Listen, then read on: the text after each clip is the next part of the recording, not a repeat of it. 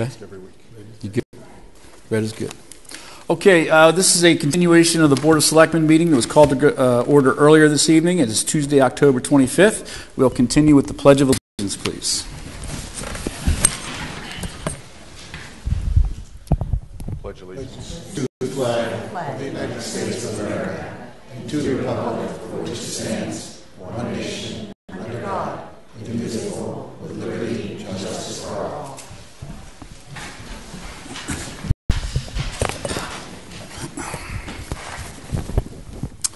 So we began with executive session. We were in uh, room 211 to discuss uh, contract negotiations with non-union personnel, the town manager, and the police chief.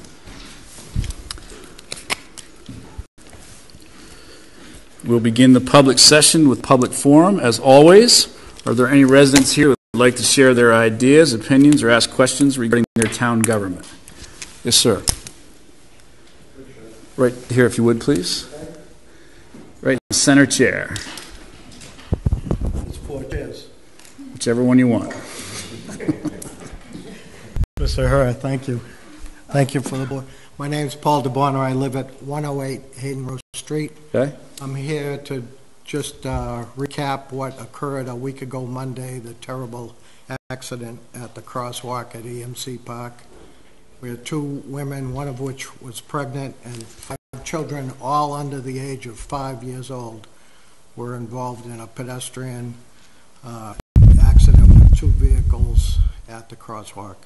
I appreciate the response that the town has, was given to that accident between police, ambulance, and fire, and uh, Mr. Herr also visited the site during the uh, uh, accident reconstruction.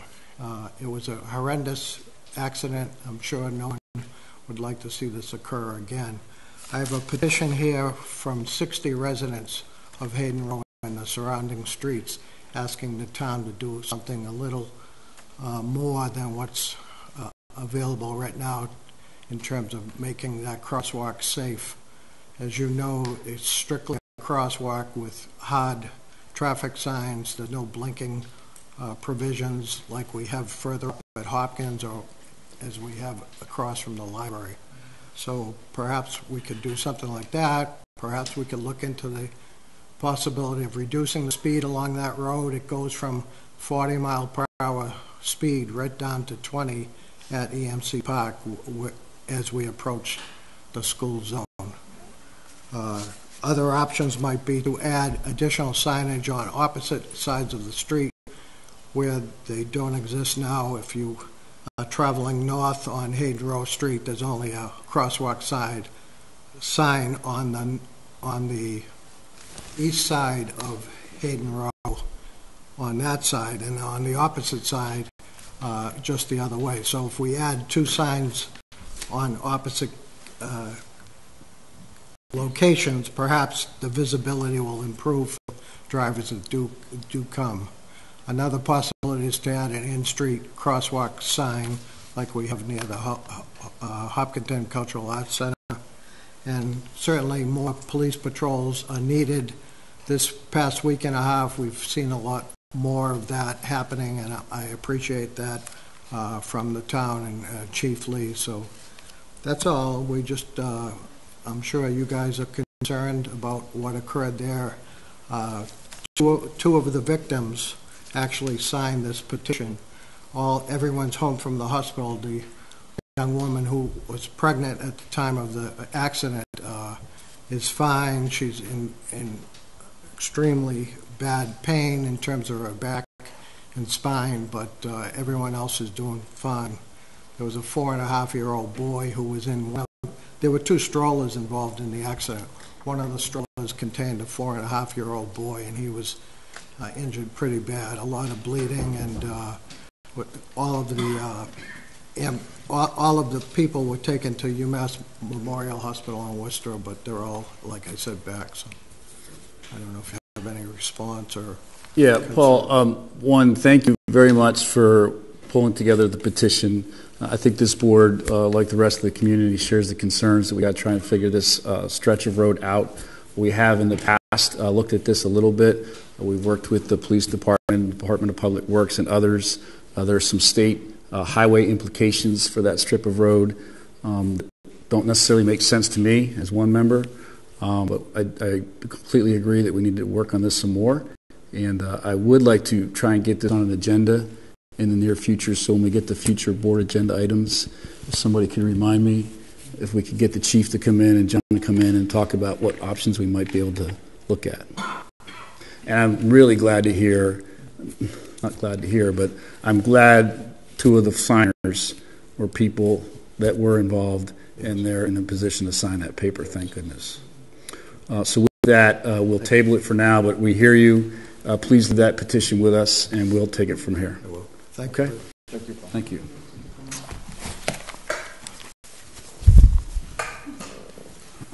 Thanks, Paul. Anybody else here for public comment? Thank you. It's Mr. Kabul. Okay, with that, we'll move on. Chief Lee.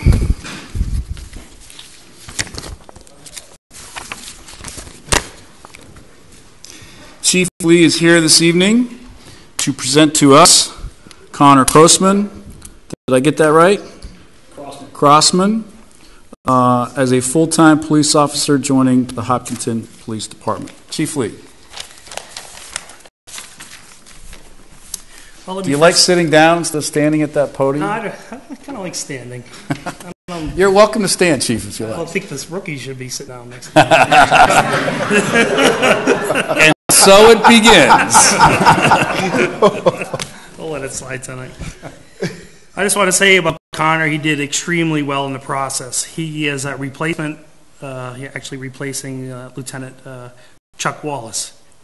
Uh, Connor just recently uh, graduated uh, the Sixth State Police Academy. It's a newer academy where it's taught by the state police. It's 24 weeks, and Connor did a, did an outstanding job. In fact, he had the honor of giving the commencement speech at the graduate out of uh, several recruits. He was chosen by uh, his colleagues and his staff, and I happened to be there for that ceremony, and I was extremely proud of, of, of his speech. Uh, Connor comes from a law enforcement family. His father is here tonight, Detective Sergeant from Mansfield. Larry, take a bow. Uh, Connor graduated from 2011 in uh, North Attleboro High School. In 2015, graduated from Westfield State University. University, excuse me. Has a bachelor's degree in criminal justice and a minor in Spanish. He worked with the Westfield Police Department as a, a community policing intern. He previously worked at the Department of Corrections as a criminality and substance abuse counselor for MCI and Old Colony Corrections. Uh, like I said, he grad- graduated the, uh, uh, the academy and is now in the process of our uh, FDO process, and I'm pleased to say he's doing a outstanding job. One thing uh, during the process, during the interview, uh, what really stood out, and uh, my command staff will certainly agree with this, is the amount of commitment that Connor has for charity groups. I, I guess it's a way of life for him and his family. They've always been involved since you're a youngin', right? For his Special Olympics, and he really impressed with the, the uh, just the, the sincereness and the amount of time he puts in.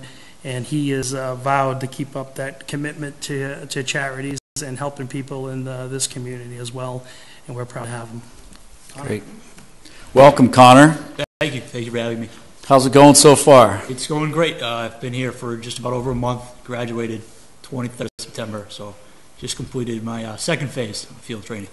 How was it given that commencement speech? Uh, I read the speech probably about 30 times, days leading up to it. So when I got up there, it was just it was like memorizing it. It was, wasn't bad. It was- Great, excellent. Well, welcome to Hopkinton. Mr. Cestari.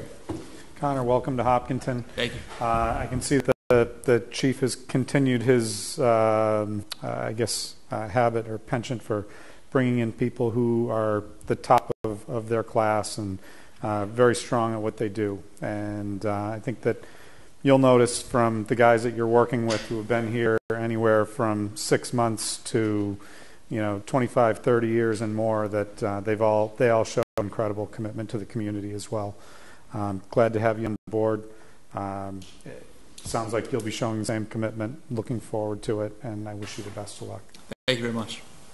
Mrs. Wright.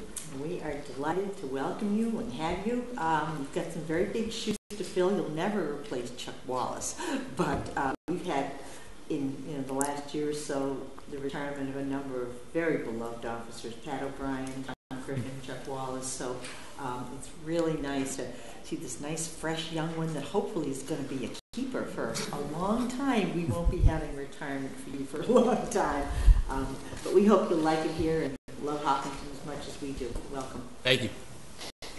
Mr. Catino. Welcome. You know, uh, to to echo uh, what uh, Selectman Cestari was saying, you know, finding somebody in the top of the class, but also somebody that's that's committed to community service. One of the great things about our department is going out there and um, doing new and innovative projects. It's every single one you'll notice, every single one of the offices has some pet project that they're working on, and there's always something new coming along, and it's uh, it's really welcome from the community. So I'm glad that you're coming in with that uh, background already. So welcome, and thank you very much for coming. Thank you. Mr. Tedstone. Well, welcome to Hopkins. I know you haven't heard that yet. Once, twice. It's a, uh, it's a great community, and uh, you hit the jackpot, this being your first job, uh, especially that you're, uh, you know, with the DOC experience and coming from OCCC to here is quite a difference. So a little bit. I worked a few years in the prisons myself. Um, so you are, uh, you're coming into this community with open arms. You're coming into the best department that I know. Uh, I've known a lot of these guys uh, a great portion of my life. I have the utmost respect for them. And uh, these guys are going to, even if you didn't toe the line, these guys are going to make you toe the line. So welcome aboard and, uh, and uh, keep our, keep our uh, town safe. No, thank you. Thank you. We're excited to have you. It's great to see your colleagues, your new colleagues here tonight. I always like when the teams come out. It's really nice when the police and fire come in here with new employees, those that are retiring, and they all show up. So thanks, guys, for coming out tonight to see Connor uh, get ready to rock and roll here. And Chief, uh, as always, great job, and we'll see you around. Thank you. All right. Thanks very much. Connor, good luck to you. Thank you.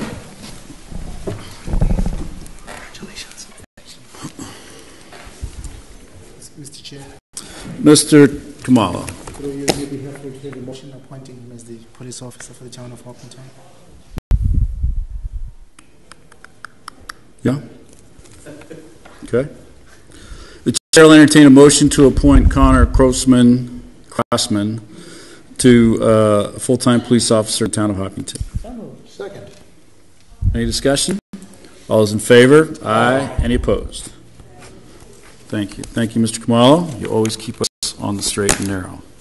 Well, usually keep us on the straight and narrow. Through the chair, Mr. Cestari. uh, Chief, do we have any other positions that you're trying to fill at this point? Yes, we're, uh, Chief, to the mic, please.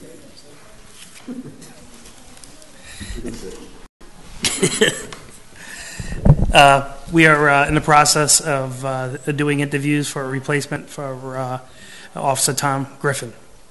And we also have a, uh, a uh, a position, uh, Detective Dave Shane has informed me that he will be uh, retiring in uh, uh, January. So we're in uh, the process of filling his position as well. Okay, thank you. You're welcome. All set? Okay, item number three on the agenda is the consent agenda.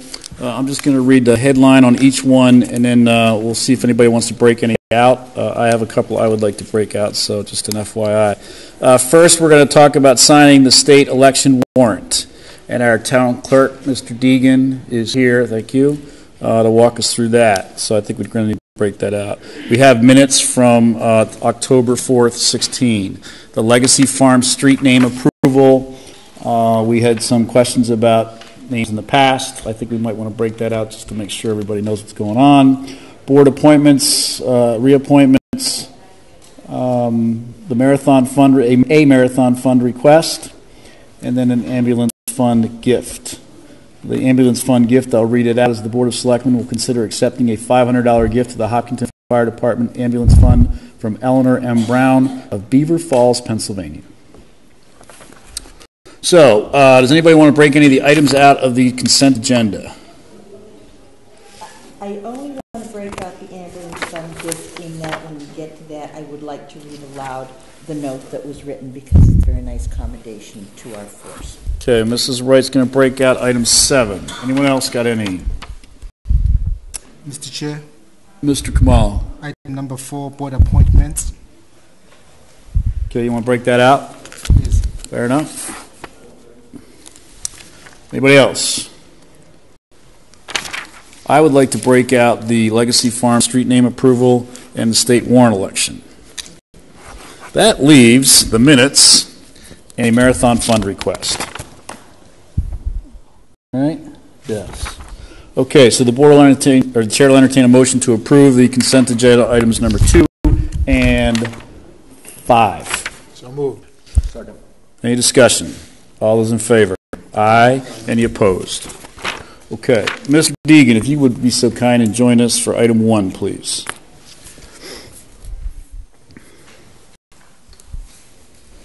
Good evening, everyone. Hi, Connor. So, uh, we need to sign 18 copies. Yes, you do. Uh, so it's just the standard warrant adjusted to our district for it. Uh, we have all the positions that'll be on the ballot for the upcoming state election that some people have already voted on downstairs. But uh, this is the final copy that we just got the ballots in for it on Friday. So we're now all set to go ahead and have the ballot approved. Okay? Everybody understand what's going on? Everybody good? Thank you, Mr. Deegan. The chair will entertain a motion to approve uh, signing the 18 copies of the warrant for the November 8th state election. Second. Any discussion? All those in favor? Aye. Any opposed? Okay, Legacy Farms street name approval. I broke that out. Um, We're going to go uh, with, it looks like we settled, or they settled in on Poplar Lane and Aspen Way. Am I reading that correct? Yes. Yes. Uh, In lieu of some of the other names that were kicked around prior that were not keeping with all the other tree names Didn't like the birds. um, and the nests or whatever it was. So, uh, everybody good with Poplar Lane and Aspen Way as requested by Legacy Farms North and Pulte? It's Pulte, right? Mr. Khumalo? Yeah. Okay, Chair Leonard, Mr. I'd just like to ease people's concerns. Holly is a tree, not a bush. Okay. Okay, the chair will entertain a motion to approve Poplar Lane and Aspen Way. Uh, Legacy Farms North as requested by the developer. So moved. Second. Any discussion? All those in favor? Aye. Any opposed? Okay. Uh, Mr. Khumalo, number four. Board appoint, board reappointments. Uh, this issue is coming back before the board because when the board took action on October 4th, uh, the vote by the board did not specify the term for the individual who was appointed. And the town clerk is here to explain the process to the board. Okay, so just real quick, the Board of Registrars of Voters, uh, and at the risk of getting some nasty emails, the Board of Registrars of Voters in Hopkinton, by law, all those watching, please understand, by law, is required to be a balanced political board. Therefore, this discussion we're about to have, we have to recognize and understand as a board the party affiliation of the individuals on this committee. Does everybody understand that? Is everybody okay with that? Everybody in the audience okay with that? I'll give you guys a chance to weigh in on this one. Because the last time we went through this process, I was asked to resign, I was going to be shot, a few other things for bringing up political affiliation during a Board of Selectmen meeting. I remember that. Okay? So, yeah, it was a lot of, a lot of fun. Does the ballots have to be uh, within sex, male versus female? No. Not that I'm aware of. Connor? They do not. Not, not, no, okay. Good, good, good question. Thank you, John. Uh, so, we're going to talk about party affiliation for a moment in a public meeting, but we have to by law, okay? Please. Con- Connor, go ahead. Uh, so, right now, the only uh, applicant we have for, or the only nominee that we have for two open seats is the Democratic appointee. Uh, by law, because we have partisan elections in Hopkinton, as you stated, we have to have a balance of parties on the board, and the only ones who can be nominated for positions are those who are nominated per certain guidelines by the town committees for the parties in town. Okay? So do we have an individual that's before us this evening? Uh, we have the one applicant that we have at the moment is uh, Janie Wheeler Ristaino, who is from the uh, Democratic Town Committee nominee. There are two open seats, as I said. Uh, they are a bit of an odd one, and when they expire, they have to be they expire and have to be reappointed in February or March. Uh, so we just kind of went with we'll set it for February to kind of have more of a solid time frame on when we'll do it. Uh, so now it's really up to the board to decide whether or not uh, she'll be put into one of these one of these slots. Uh, So refresh our memory, if you would, please. How many people sit on this board? it is a four-member board. There is no chair. Uh, the town clerk, myself, serves on the board as well and does count towards that party balance. Uh, because and the no party can ever exceed two seats on the board. Therefore, me being unenrolled doesn't influence the direction in any way.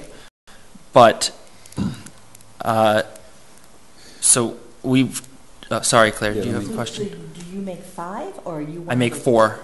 So you're unenrolled, what if you got two Democrats, one Republican, and one unenrolled? That doesn't really give the Republican Party an, an appropriate representation. It could be uh, viewed that way, yes. And it is in many ways a board of appearances on the political makeup, especially of any individual town.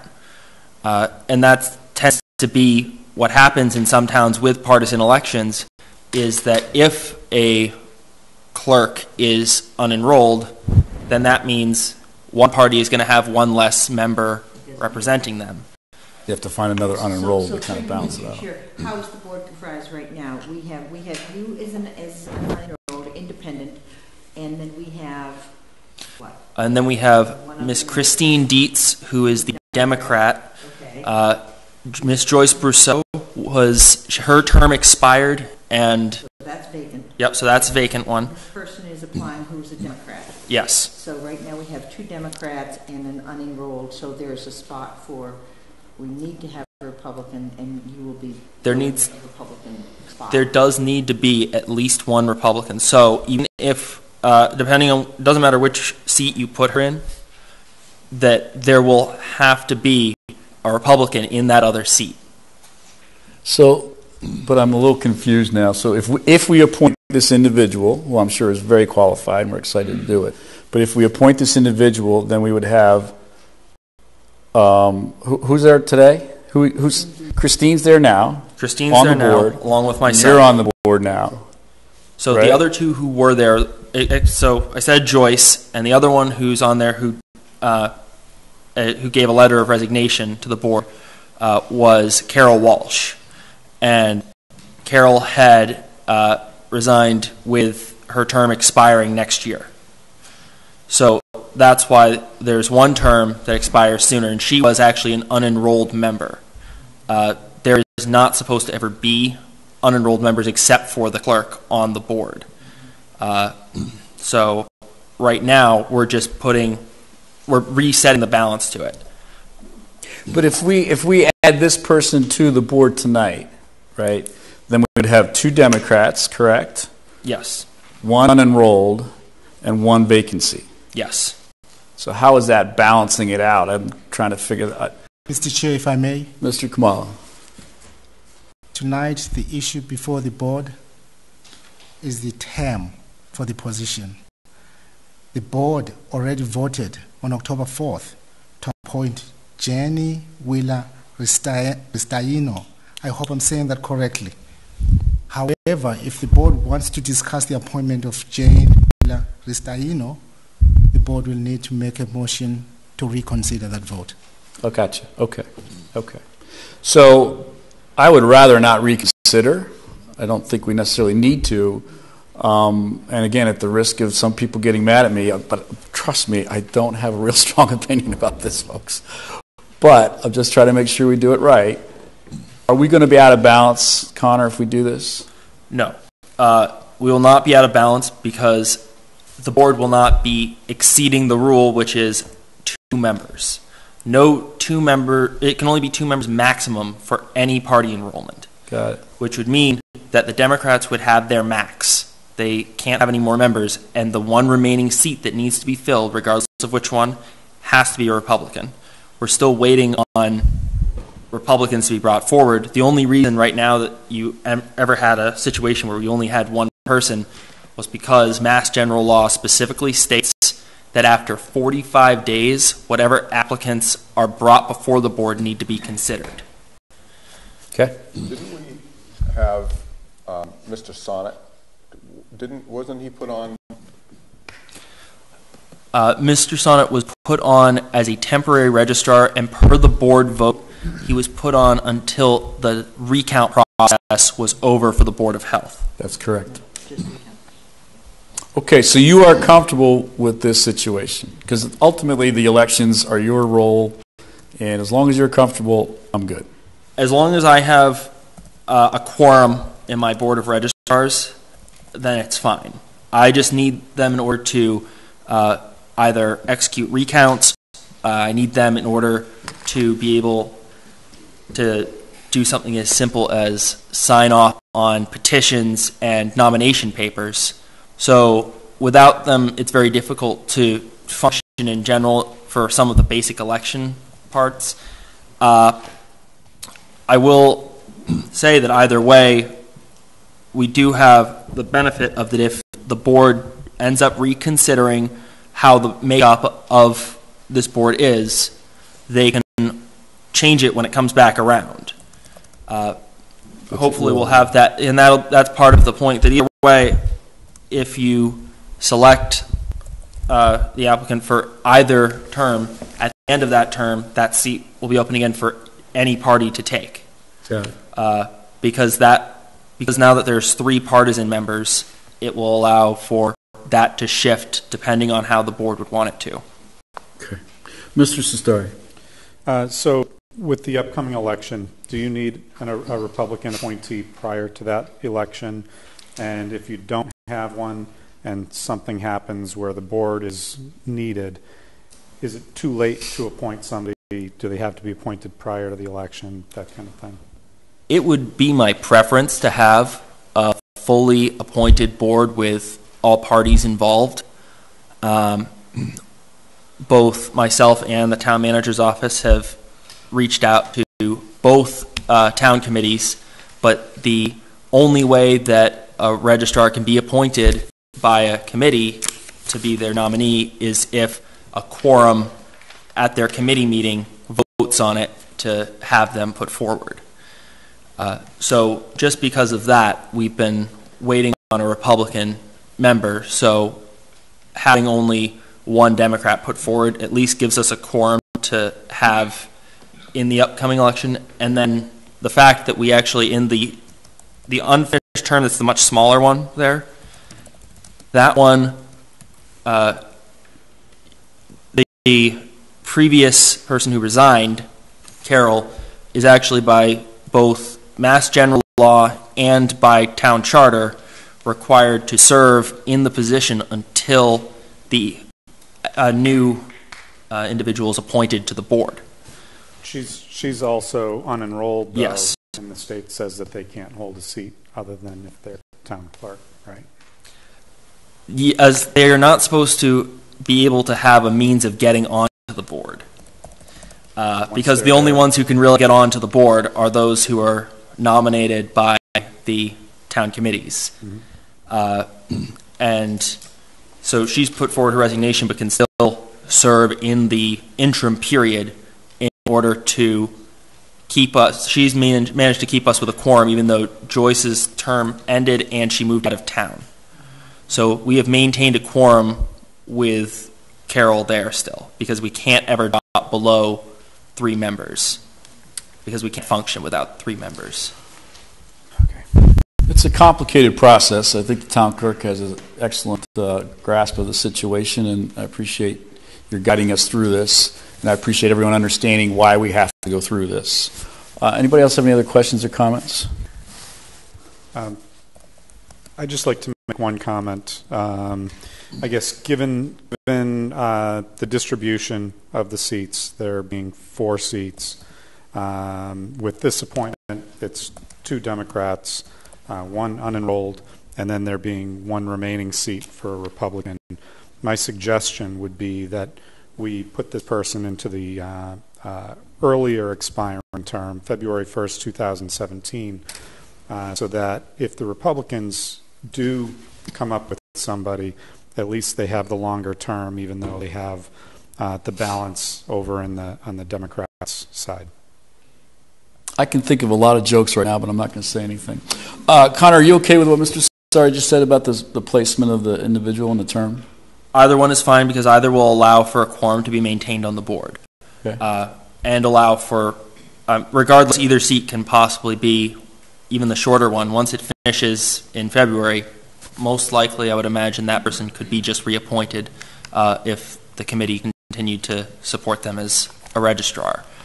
Uh, so there's no problem with it. I think the uh, I, it would it works perfectly fine. Either one is up for the spot. So it's up to the board. Thank you. Mr. Cestari. Uh, yeah, Mr. Chair, uh, I move that the vote, the board vote to um, place Jamie Wheeler Ristaino uh, into the chair, into the seat that expires February 1st, 2017, or until a successor is appointed.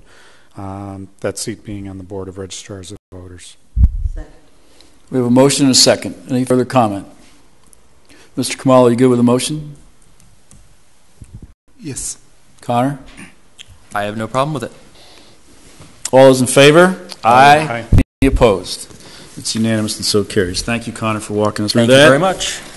Okay, I believe that wraps up the consent agenda. Mr. Chair, I I'm sorry, that's incorrect. I believe Ms. Wright Yeah, Mrs. to- Wright, item number seven.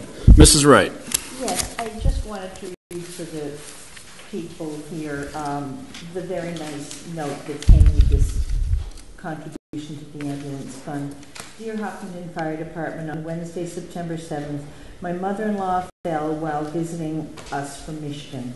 She was so impressed with the kindness and professionalism shown by your town that she would like to provide the enclosed $500 donation to be used by your department where it is needed most. Thank you, Shirley Brown. And um, we've said many times how wonderful our, our first responders are, but I think people need to hear this lovely note of commendation for our fire department. Thank you. Chief Sloan. Great, thank you. Mrs. Wright, would you like to make a motion to approve item number seven of the consent agenda, please? I move that the Board of Selectmen accept a gift of $500 to the Hopkinton Fire Department Ambulance Fund from Eleanor M. Brown of Beaver Falls, Pennsylvania. Second. It's a very generous gift. All those in favor? Aye. Aye. Any opposed? It's unanimous and so carries. Thank you. Next up, uh, next up, we have a presentation uh, specific to uh, a marathon, an upcoming marathon here in the United States. Uh, I'm going to ask that Mr. Kilduff join us uh, at our guest table, and he's going to bring a very special guest with him to the table and explain a little bit about these beautiful wreaths that are in front of us and the secret little present we have inside here. Mr. Kilduff. First of all, thank you for uh, the time and the opportunity to share another uh, element in Hopkins Marathon footprint. The, uh, in, in 2010, uh, Dimitri Kyriakides, in the name of his father, Stylianos Kyriakides, who won the 1946 Boston Marathon, began to donate gold, silver, and bronze wreaths to the winners of the Marine Corps Marathon. That marathon, by the way, is known as the People's Marathon. Um, 30,000 runners. Um, uh, one of the best marathons in the world, by the way. Uh, it's important for Hopkinton because uh, at mile the mile one marker we have the Spirit of the Marathon sculpture, which features Stylianos Kyriakides. But it wasn't until recently um, that I began to hear about, uh, fact, started last year when two Hopkinton residents, I happened to see, uh, go to the starting line of the, of the Marine Corps Marathon, Kathleen Carpy and Laura McKenzie, that I began to uh, sense the connection between Hopkinton and the Marine Corps Marathon. And recently I was uh, introduced to Michelle uh, Kinsella, who is, uh, who I'll let you, I'll, I'll let her tell you about her involvement in a, in a, in a very heartwarming, uh, important organization called the Semper Fi Fund. But this year we'll be presenting the, taking the wreaths uh, to DC again. They'll be presented to the winners of the 41st uh, uh, marathon. Uh, but in addition, uh, we'll be taking part, this community will be taking part in a special uh, presentation to the Semper Fi Fund. And I'll let Michelle fill you in on that, the details of that presentation. Great, thank you. Michelle, welcome. Hi, thank you. Thank you for coming this evening, and we look forward to this whole discussion. Go ahead, please. Thank you. Um, I'm part of the Hopkinton Running Club, and um, many of um, my teammates who have run the Marine Corps Marathon for the Semper Fi Fund, um, which is why we're here today to talk about, um, are here. So I just wanted to take a moment just to introduce. Is that. Coach Laura and Kathleen and a couple others in the back there? Yes. yes, so Laura, Kathleen, Jamie Damone, um, Dave Pete, Wade Marshall, Leah Curtin, Amy Cole, and Lynn Canty um, have all um, run the Marine Corps Marathon um, last year and um, several of them this year um, for the Semper Fi Fund. So in 2010, I didn't realize that connection um, is when I ran my first marathon and I ran uh, the Marine Corps Marathon and I ran it for my dad who is a Marine and is a Vietnam veteran. And so I wanted a way that I could um, honor what his service was for our country.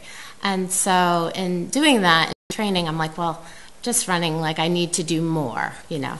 Um, so I looked for organizations that I could help raise money for, and so I found the Semper Fi Fund, which was very fitting because Marine Corps, that is their, their motto, Semper Fidelis, and my dad has a tattoo on his arm, Semper Fi. So I, I knew that was the organization that I had to um, to raise money for. And what the Semper Fi Fund does is they provide um, financial support for those service members who have been um, injured physically or emotionally um, in the war. Many of them have been um, have lost limbs from IEDs um, or have traumatic traumatic brain injuries.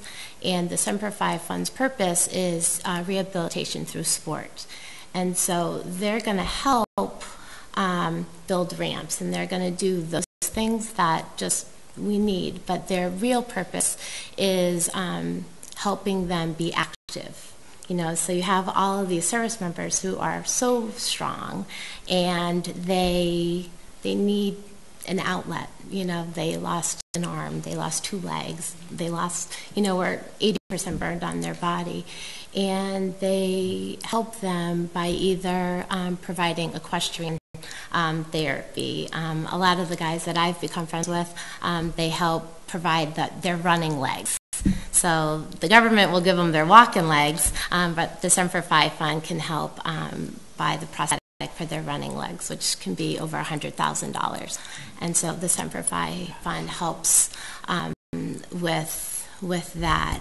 Um, and my thought has always been like when my dad came home um, from Vietnam, he was broken, and no service member should should feel that way. And the Semper Fi Fund makes sure that that doesn't happen um, to our military um, service members. Um, and then it came full circle in 2013 after the bombings here um, in Boston. They um, the Semper Fi Fund the Friday um, the Friday after the bombings, they many of the members came out and they became mentors with um, those people that injured.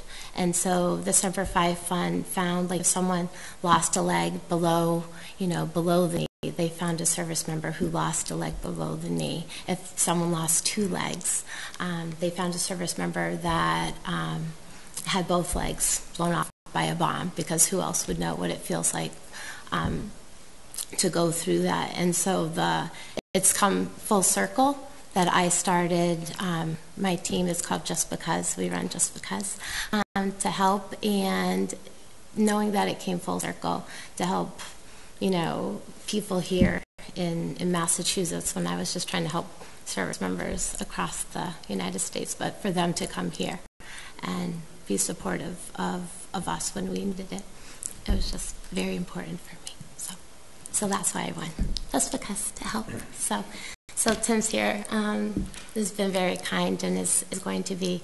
Um, will you talk about it? You talk. You talk, Tim. the, um, the the there'll be a, they have a pre pre marathon dinner, as you know, Chairman. Uh, pasta dinner in Washington. There'll be approximately 800 people. Uh, uh, members who have uh, service members who have received services with the Semper Fi Fund. There'll be appro approximately 10 to 12 um, runners, participants who uh, were victims in the Boston Marathon bombing. Uh, and, and, for me, to be able to bring this back, uh, take the, the, this wreath, this symbol of, uh, of, of, peace and victory, uh, and to have it come through Hopkinton is uh, pretty emotional, heartwarming thing for us to do, and happy to be able to share it with all of you. That's great. That's great. You're doing anything but just because right? You're doing anything but just because. I mean, this is awesome.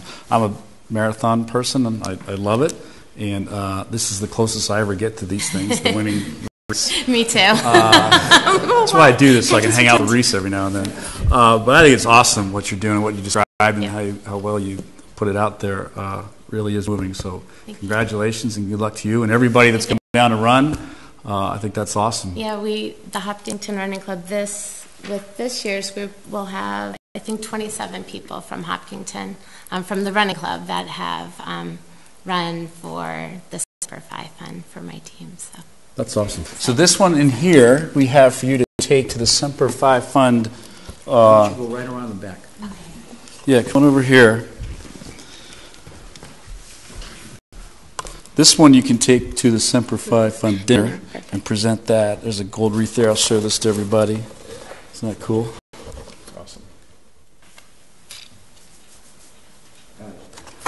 Thank so, you so much. Travel safe with Thank that. Thank you. I will. And good luck to you. What will you run it in? You. Goal is 4:30. 4:30. 4:30. That's what we're shooting for. Awesome. Good Thank for you. you. Thank you so much. I appreciate it. Good luck. It. Take Thank care. You. Be well. Thank you. Thank you so much.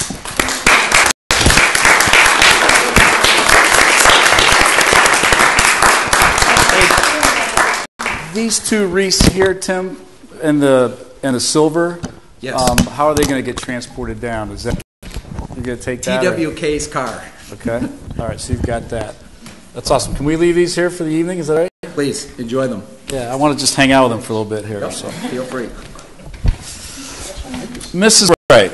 I'd just like to say one thing while we're right here. Um, I think it's appropriate to speak to what the 26.2 Foundation does. Um, Tim Kilduff and his 26.2 Foundation um, do such amazing work. Um, they have brought the visibility of Hopkinton and the community and the uh, Metro West region in the state of Massachusetts um, to an elevated level. He has made um, immeasurably important contacts with our friends abroad in Greece, in China, in Kenya. Um, they brought, I believe it was 100 marathoners from Greece to run here in celebration of the 2,500 year anniversary of the Battle of Marathon in Greece.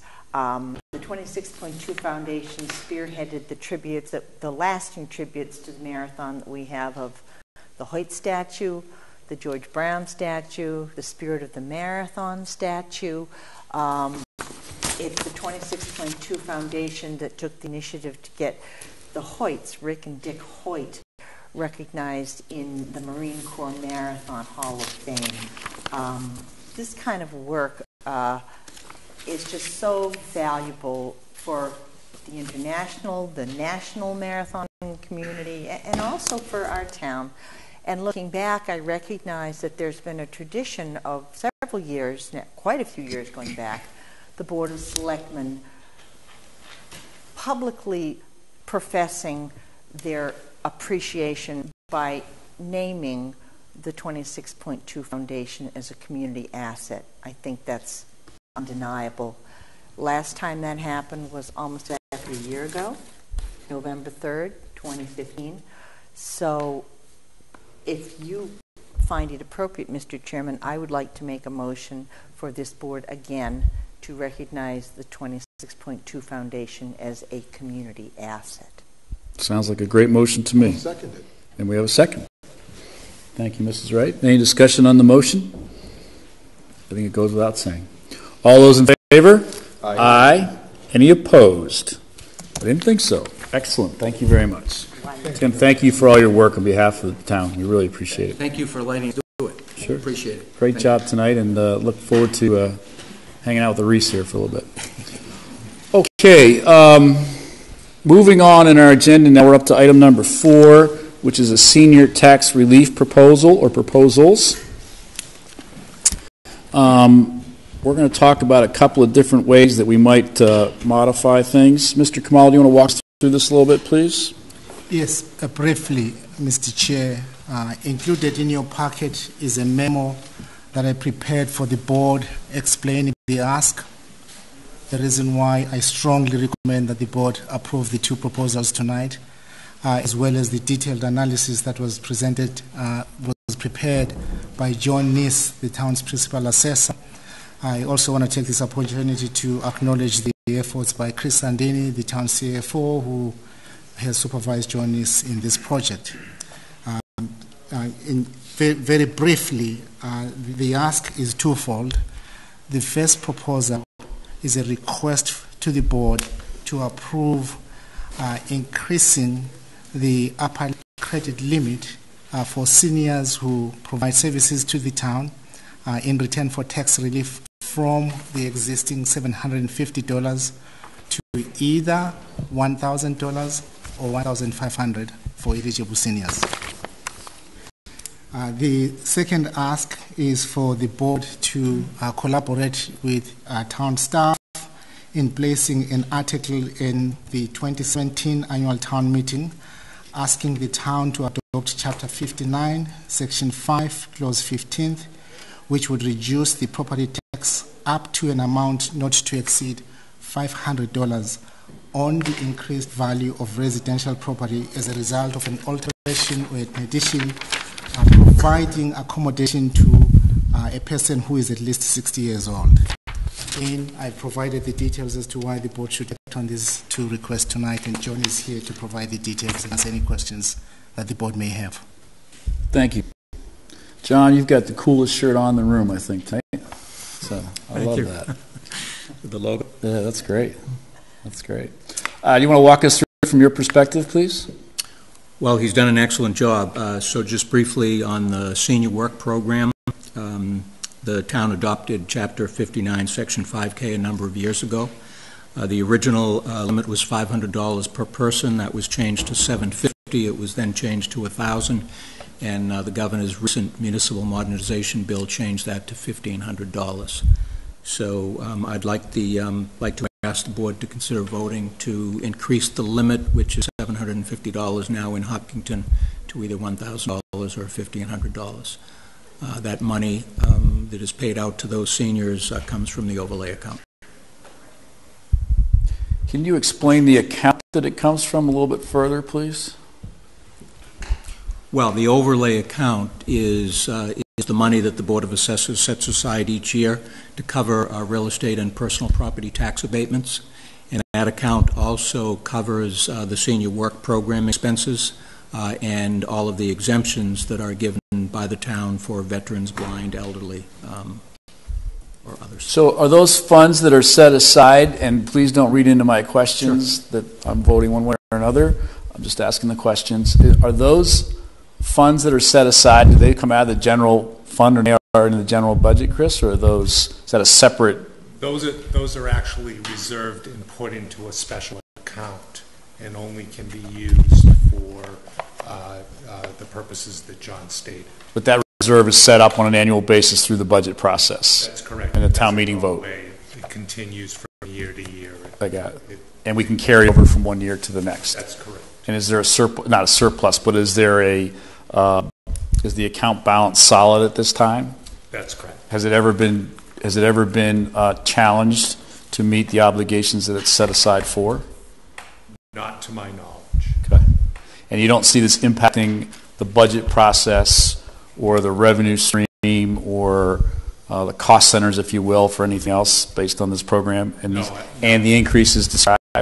It, it, it will have the effect to reduce the surplus in that account. Um, that surplus is generally after a number of years when we're sure we don't need it anymore, uh, is, is uh, transferred through to free cash. Okay. And then it doesn't exist anymore, but uh, I don't see any problems with the amount of money that's going to be increased because Okay. My apologies for jumping in with some questions. You all set for now? Yes, I am. Mr. Khumalo, you good? In fact, I would be amiss if I did not share the following remarks, namely, having the seniors here at Town Hall uh, is a very positive and inspiring uh, experience for all of us. Um, they participate in programs at the senior center. Uh, I've seen them working in the finance office, the town manager's office, and upstairs. And quite frankly, I know this program is known as the Senior Work Program. For me, it's about seniors sharing their knowledge, experience, and commitment to the community. And they do a fantastic job. And I want to thank, in fact, um, Maria Casey, she was here earlier. Uh, she runs this program jointly with the uh, Assessors Department, and it is a successful program. Great, excellent. And my apologies to my colleagues for jumping in with questions. Usually I go to you guys first, but they're flying off my head there. Uh, Mr. Tedstone. I think it's a, a great program, and I think this program uh, belongs here. I think that uh, $1,500 is, uh, is a drop in the bucket for what these guys deserve. Uh, they've, they've been in the town generally for years and years and years, and uh, I can't, uh, I'm wholeheartedly behind the, the maximum amount that we can give these people because they've earned it and they, they deserve it and they belong, they belong in this position. Well said. Mr. Patino. Yeah, I concur, because the, the experience that, that seniors can bring to a, to an organization is priceless, if I can quote the, uh, the ad on TV. Um, yeah, and, and just the way that, that Mr. Khumalo was speaking about it, that, that going to fifteen hundred is, and especially since the governor is allowing it and the state's allowing it, that, uh, we, we absolutely should. Hey, I'm at Golden Pond, I'm, I'm, I'm seniors all the way. Okay, thank you. Mrs. Wright. I concur with everything that's been said, and, um, you know, both of these proposals are exactly what we need to continue to be doing, find creative ways to help our seniors um, stay in town, meet their expenses, so, um, you know, it's a great idea. No questions. I think it's a good plan. Excellent. Okay. Wow, Good job. Anything else? No. You good? Good? Mr. Khumalo, you good? Chair will entertain a motion to approve the proposal as submitted by John Neese, Principal Assessor this evening for increase, to increase the uh, senior, uh, what do we call it, the abatement program? Tax abatement program, work-off program. Senior work program. Senior work program. To $1,500. To $1,500. Second. We have a motion and a second on the table. Any further discussion? All those in favor? Aye. Aye. Any opposed? It is unanimous and so carries. Thank you. So last issue, Go ahead. uh, last issue, town manager has already also explained, I would uh, like to ask the Board of Selectmen to consider sponsoring an article at town meeting um, to ask the residents to adopt by local option, Chapter 59, Section 5, Clause 50th, which would, um, as explained, exempt up to a $500 increase in someone's real estate tax bill if they did alterations, uh, renovations, or additions um, to allow a uh, senior citizen to live in that property. Okay. Um, Town meeting or special town meeting? Town meeting. Town meeting. Mr. Khumalo, town meeting? Whichever comes first. I'm sorry? Whichever comes first. Annual town meeting, so. I believe Mr. Khumalo was making a joke. Okay. Um, Anybody have any comments, questions on that proposal? Mrs. Wright? Um, Again, we need to be doing these things for seniors. I discussed both of these with at least one contact on the tax relief committee, which I'm a liaison. Of course, they support it. But my question is, is this $500 uh, tax abatement, is this a one-time thing, or would this apply every year to that property owner's taxes? That's a good question. And if Um, it does apply every year, how do we monitor once there is no longer a senior living? Suppose they put on an in-law apartment and eventually that senior no longer is there and they just rent it out. It, obviously, the, abate, the, the reward is to reward the fact that they're providing housing for a senior. At some point, they may not be. Um, All I could if, uh, it, uh, is read the clause. I mean, it says, uh, "The increased value of residential real property as a result of alterations or improvement not to exceed $500 of taxes due." It doesn't specify whether it's a one year or every year, Uh, provided, however, that such alteration or improvements are made to provide housing for a person who is at least 60 years old and who is not the owner of the premises.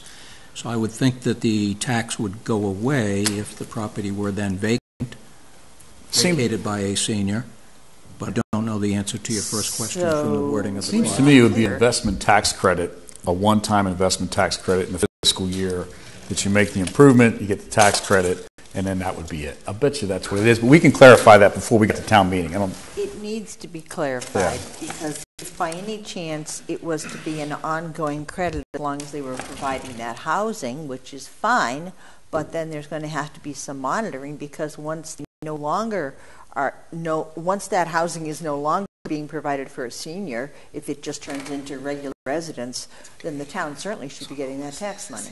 It's, it's increased in value. I believe they would. And if I could just offer a brief example, let's say someone put on an addition of $100,000 at a current tax rate of 1703, so the increase in their tax would be $1,700 per year based on that addition. This would provide a $500 credit toward that increase of 1700 so they would still pay $1,200 in additional taxes for that addition, but not the $1,700. And I would think, though, that it would be every year because they're going to be charged for the cost of that addition or those alterations each and every year. So there needs to be a way to monitor. Mr. Palmer, right? yeah, we'll have to figure that out before the town meeting. So there's a good question that I'm sure will come up um, at that time. Mr. Palmer? I've read this, I'm Assessor John Palmer, I've read the statute, it's very clear to me that it's annual. There's an annual submission that's required by the applicant to go to the Board of Assessors to certify that the conditions still exist. The, the- the conditions being that there's, uh, that the uh, occupancy is by a senior, and um, that the, the the owner, it has to be owner occupied, and it has to be a senior living in the home. And that continues every year until the senior dies. So it's up to five hundred dollars a year. So it can go on. for- And it really is to benefit the senior. Right. It's focused on the senior. Okay? So just to clarify, through you, Mr. Chair, so in other words, the monitoring happens in a way that this is not automatic every year. The property owner has to apply for it every year. The applicant shall annually furnish to the assessors a statement under oath that the alterations or improvements were made to provide housing for a person who is at least 60 years old. The exemption will, shall terminate when the premises are no longer occupied by such elderly person. That's what the statute says. You. Excellent. Thank you for that clarification. Thank Any other questions or comments about the second request from Johnny's? I, I appreciate the sentiment of this, uh, but I think that this is something that between now and town meeting, we need to look at carefully. Um, in order, in order for the taxes to be going up at least $500, we're talking about um, at least a $30,000 improvement. Um, you know, as you start going up from there, you know, again, I, I appreciate the sentiment. I'm not sure, I'm not sure if the family who's putting, you know, 50, 60, 70,000 dollar uh, improvement on their house really, you know, needs the 500 dollar uh, assistance on the tax. Um, the other thing, I guess, is that I'd want to make sure, and I'm sure that it, it's it's already written into the way that the state has things uh, drawn up. Um, you know, is this an alteration that without it they couldn't have the person living there? So, in other words, say adding on another bedroom or something like that, or if they say, "Hey, mom's going to come live with us," you know, let's bump out the dining room. You know, I mean, does that qualify? You know, just because it's an alteration to the house, and now they have an elderly person coming in, coming to live with them. I mean, I'm just curious about some of the. Some So, of the so I think in keeping with the spirit of tonight's meeting and what we do in advance of town meeting, uh, and when we look at articles and discuss articles and debate them at that time, why don't we do this? Let's table it for right now, because the request is to put something on the warrant for town meeting. We're not even close to the top town meeting warrants today. So let's table the discussion for now. We'll get some more information, some more questions probably, and when we do get ready to prepare for a town meeting warrant, Mr. Khumalo, if we could make sure, and I'm sure the assessor's office will as well, make sure this is one of the items before us, we'll discuss it at that time. Does that make sense? Yes. So we can table for now if everybody's okay. We'll definitely be getting into this. Uh, we'll get some questions answered and we'll sort it out. Okay? Thank you. Thank you very much for coming tonight. And uh, we're all set on the first motion, though. Thank you. Okay, with that, uh, we're going to move on to item number five in the agenda as printed. Um, We're running a little behind here, folks. My apologies, uh, but we'll try to catch up. Um, We are in the midst of working on the uh, Boston Marathon Parade permit for 2017. Doug Flannery's going to join us and uh, talk a little bit more about that, as is Dottie. Uh, Welcome. Nice to see you guys again. Thanks for coming out. Um, Mr. Khumalo, you want to sort of walk us through uh, where we're at and what we've been working on and uh, perhaps, uh, you know, where the board was and what we're looking at tonight? Yes, um, when the board last discussed this permit request on October 4th, 2016, uh, there was a specific request for the town to engage with the BAA uh, to address specific uh, community concerns. A meeting did take place last Friday, uh, and I am pleased to report to the board and Mr. Coutinho, Vice Chair, feel free to jump in as well with the chair's permission. Uh, I'm pleased to report that the discussions were productive. Uh, they were consistent with the spirit of the partnership between the BAA and the town. Uh, and most importantly, I believe the outcome from the discussion was very beneficial to the community, uh, which is consistent with the board's marathon policy. Okay, thank you. Mr. Coutinho, do you have anything to add? I'd like to, to uh, really personally thank Doug Flannery and, and team and Dottie for coming out Friday, and um, really, it was a really frank discussion. We, we, um, it, uh, we hit all the points from both sides and, and really came out with a great solution for everybody.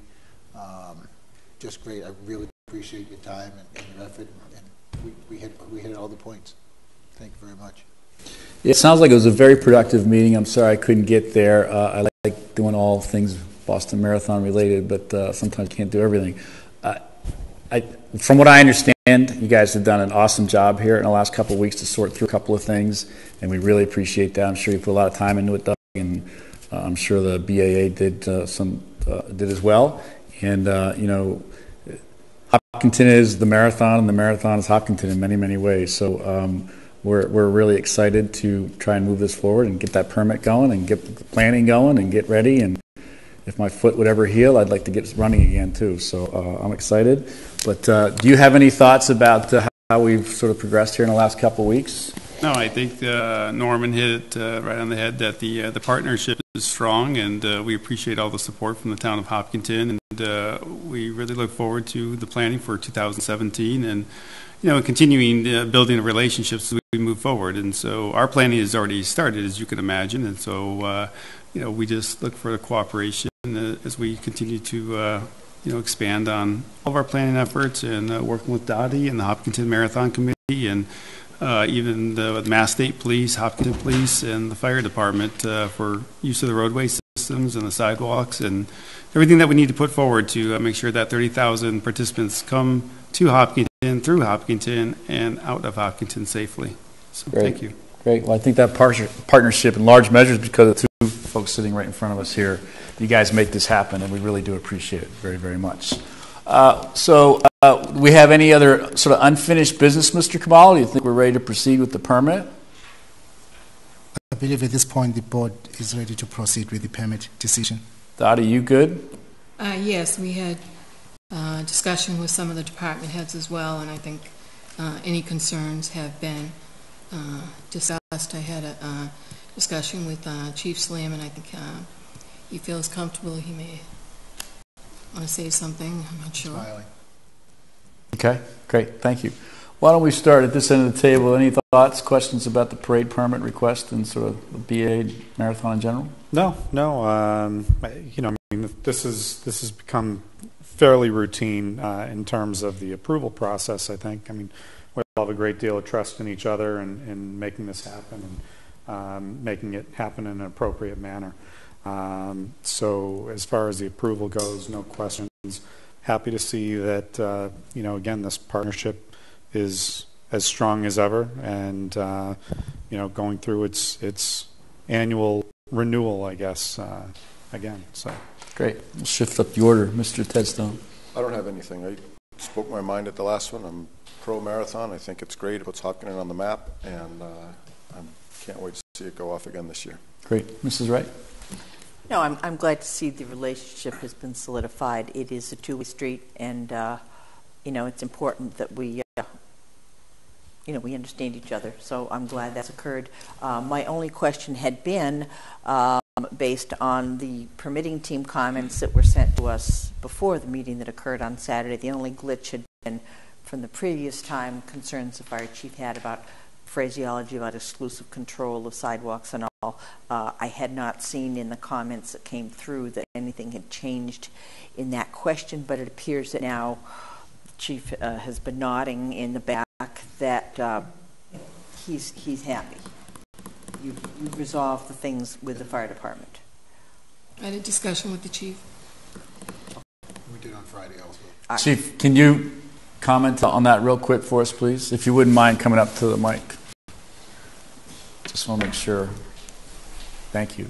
Sure, thank you. The, uh, I'll s- I guess I can say the new fire chief for like a year, I get away with it. So uh, the new fire chief is, uh, asks a lot of questions as I understand the process of the race. It's the first time I've gone through some of the permitting and processes, so um, I'm learning some of the dialogue and what we do. The roadways are one of the most um, significant challenges to us for the race runners, for the, uh, your group, and for us for public safety. So um, that's why I mentioned that to you, and we're studying that hard. And uh, a lot of dialogue goes through the year, goes on through the year to make sure the roadways system works well. So I'm comfortable that that will all go. I think that's the way you framed it in your conversation. Uh, it, it caught my eye the first time reading that permit, the way it talks about um, exclusive rights. So I, I, I, uh, I hope that the spirit of my question is okay. I'm, I'm looking forward to running the event, I feel comfortable. Okay. Thank you. That's what I want to hear. Anything else? No, that'll do it. Mr. Coutinho? I just think the timing of this is just great. You know, here we are with the uh, with wreaths right in front of us, and, and because again, it's all about co-branding. You know, the BAA uh, makes Hopkins, Hopkins makes the makes the the, the and um, really, it's it, as as Mr. Tedstone said, it, it puts us on the map. And uh, we really appreciate uh, the marathon and everything everybody does. And again, like I said, thank you very much for all the time you guys put in. And, and I'm looking forward to uh, holding this. Did I- Chief Slaman, did I just hear you say that you're looking forward to running the race? The running? Thank you for the clarification. Nice pickup. I think it's a great, it's a great race. It's a great organization. Hopkinton is honored to be part of this process that the BAA puts on every year. I love doing it myself, and I'm looking forward to it. Uh, the chair will entertain a motion to approve the parade permit as requested. So moved. Any further discussion? Mr. Khumalo, you good? Yes, through the chair, the approval will reflect the standard language on parade permits referencing the need to continue the conversations with the public safety chiefs, the marathon committee, uh, as well as uh, naming the town as the additional insured. Uh, and in this case, we'll be requir- requiring both the general liability and also the umbrella liability. and that the uh, the general liability uh, coverage is primary and not contributory. And is any of that new information coming out this evening? Or new requests or new expectations? Not really, because it it was mentioned briefly on Friday. It's a conversation that uh, we, as town managers in the marathon route, have been discussing with the BAA for a while now. They good with that? Good. You okay? All right. So we have a motion on the table and a second. All those in favor? Aye. Any opposed? So we'll get that parade permit going, and we appreciate you coming in tonight. Thank you Thank very you. much. Thanks, Dottie. Have a good night. I think I saw Lieutenant Wallace back there somewhere. Okay, next up, we're going to have a budget discussion with our colleagues uh, from the Appropriations Committee, those that are here, as well as the School Committee, uh, those that are here. Um, One of the reasons we've changed this room is so that we all get together, we all hang out together, and we all sit in a space where we can communicate effectively and sort of one-on-one. So if our school committee colleagues could join us over here, and the appropriations folks could join us there, um, hopefully we have enough seats for everybody to make this work. I believe we do. Do you guys need to go, call yourselves into order, or are you already there? Okay. And you guys need to go and into, You don't have a quorum. don't have a quorum, okay, that's fine. I don't think we need a quorum for tonight's discussion. Mr. Khumalo. Mr. Chair, this is, I think, the second step in the annual budget process. Um, First step having been laying out the budget calendar. I also uh, want to point out that in a conversation with uh, Pam Waxler uh, this afternoon, it came to my attention that uh, we still need to bring the uh, proposed budget calendar back to the selectmen uh, so that at least we can inform you of the adjustments that were proffered by the Appropriations Committee as well as the School Committee. And then in terms of tonight, um, we, uh, we have prepared a presentation uh, by the uh, Town's Finance Director and Accountant uh, Chris Sandini.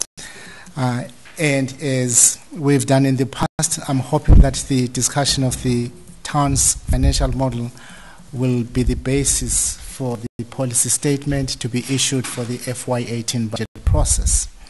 I included a memo in your packet highlighting my uh, recommendations. I think what is important uh, for the board tonight is to uh, at least focus on the four things that I mentioned, namely that there has to be a conversation regarding the assumptions that you will hear about uh, tonight from Chris, the assumptions underlying the financial model. Secondly, we have in the past been focusing on refining how we define our regular occurring expenditures. As we all know, and has been discussed at town meeting, as part of that discussion, or as part of defining our regularly occurring expenditures, we are now including other post-employment benefits, uh, as well as the need for the town to build up its reserves. So I'm hoping that in your conversations with the finance director and the town manager tonight, you will focus on that aspect of the budget. Thirdly, I think as was explained at the last annual town meeting, debt service is an issue. Um, FY18 is the year when we will feel the impact and the effect of the debt um, schedules that are coming online as far as our obligations are concerned. And then thirdly, and finally, sorry, fourthly, we have pointed this out in our prior discussions of the budget and the town's financial health that it's been great having legacy farms um, produce the new growth numbers uh, that it has in the last three years.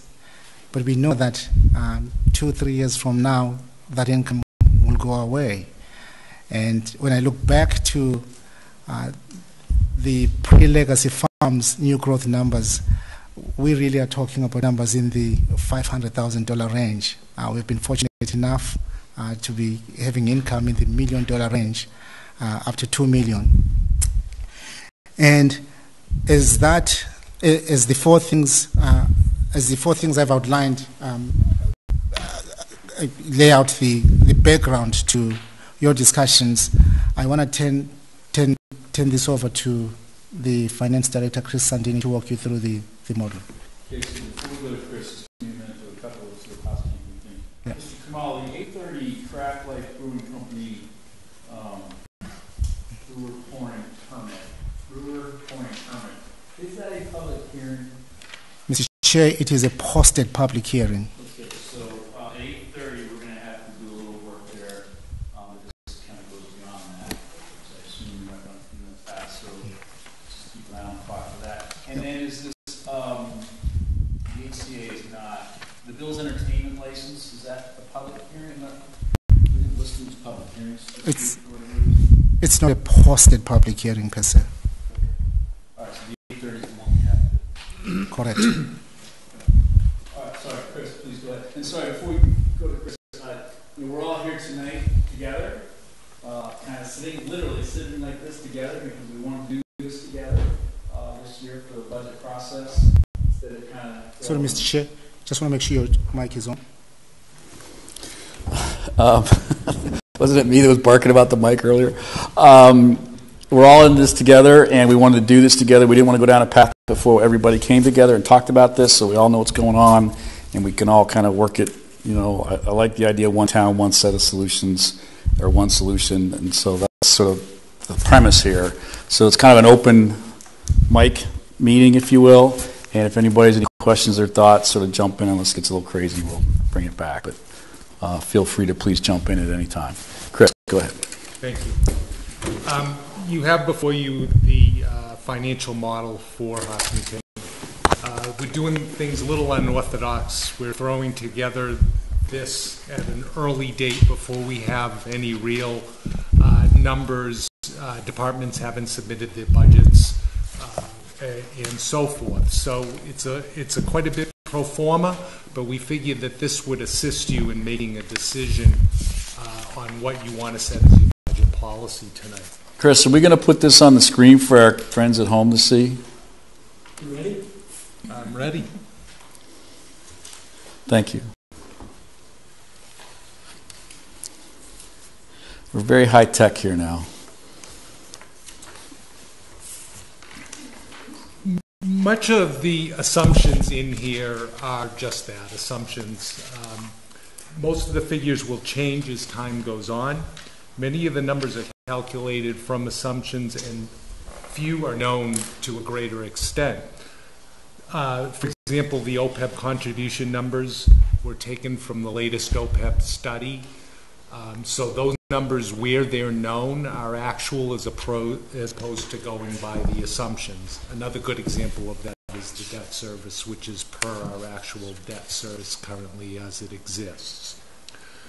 Uh, As most of you know, the model has three sections which correspond roughly to the tax recap sheet, which is the budget document that the DOR approves our balanced budget halfway through the year. The top section contains the general operating budget. Um, Most of it is the omnibus uh, budget uh, article that you see at town meeting. The second amount is other amounts that are not ordinary and can vary more from year to year and are not part of the operating budget, such as the pay-as-you-go capital. The third section here is the revenues that support those operations. So when you take the first two sections, you subtract out the available revenues that we have to support those operations, you have what's left, which is the amount that's supported by taxes. Uh, The first part, you'll notice, I'll go through a few lines if you don't mind, uh, and take a minute to discuss some of, some of uh, the items that go into this. Before you have- do that, Chris, you just explained you've got FY16 final. So that's the budget we are operating under today as adopted by town meeting, correct? That's last year's. Last year's. Last in- year's. Oh, we're in 17. I got you. I'm sorry. Yep. FY17. That was 17. So 17 projected is what we're going to hit or what you think we're going to hit or what was town meeting approved? Uh, What we think we're going to hit. And how far off town meeting is that? It can't be very far off town meeting. Well, some of it is approved by town meeting, But uh, especially on the revenue side, we won't know what our actual revenues Gotcha. came in until then. But this is what we have budgeted for. Okay. Okay. And then the 18 projected, where do those numbers come from? Those numbers are coming from your assumptions for the most part. Some of the numbers that are more well-known, like debt service, are actual numbers. Those, those are the numbers as they stand today.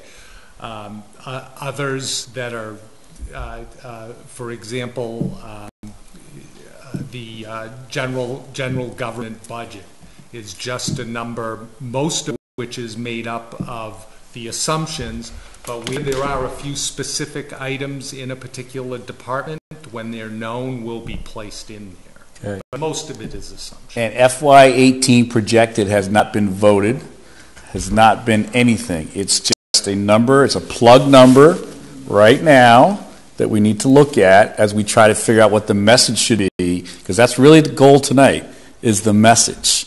We're not saying these are the numbers for the departments. These are what we're kicking around as we try to figure out what we may or may not be able to do, and we're going to verbalize that, and then we're going to go to work to really grind the numbers, That- correct? That, that's exactly right. And rather than flying blind and saying, well, gee, you know, you know, what shall we prove for uh, a a guideline for percentages, et cetera, I thought it would make some sense to actually give you some numbers.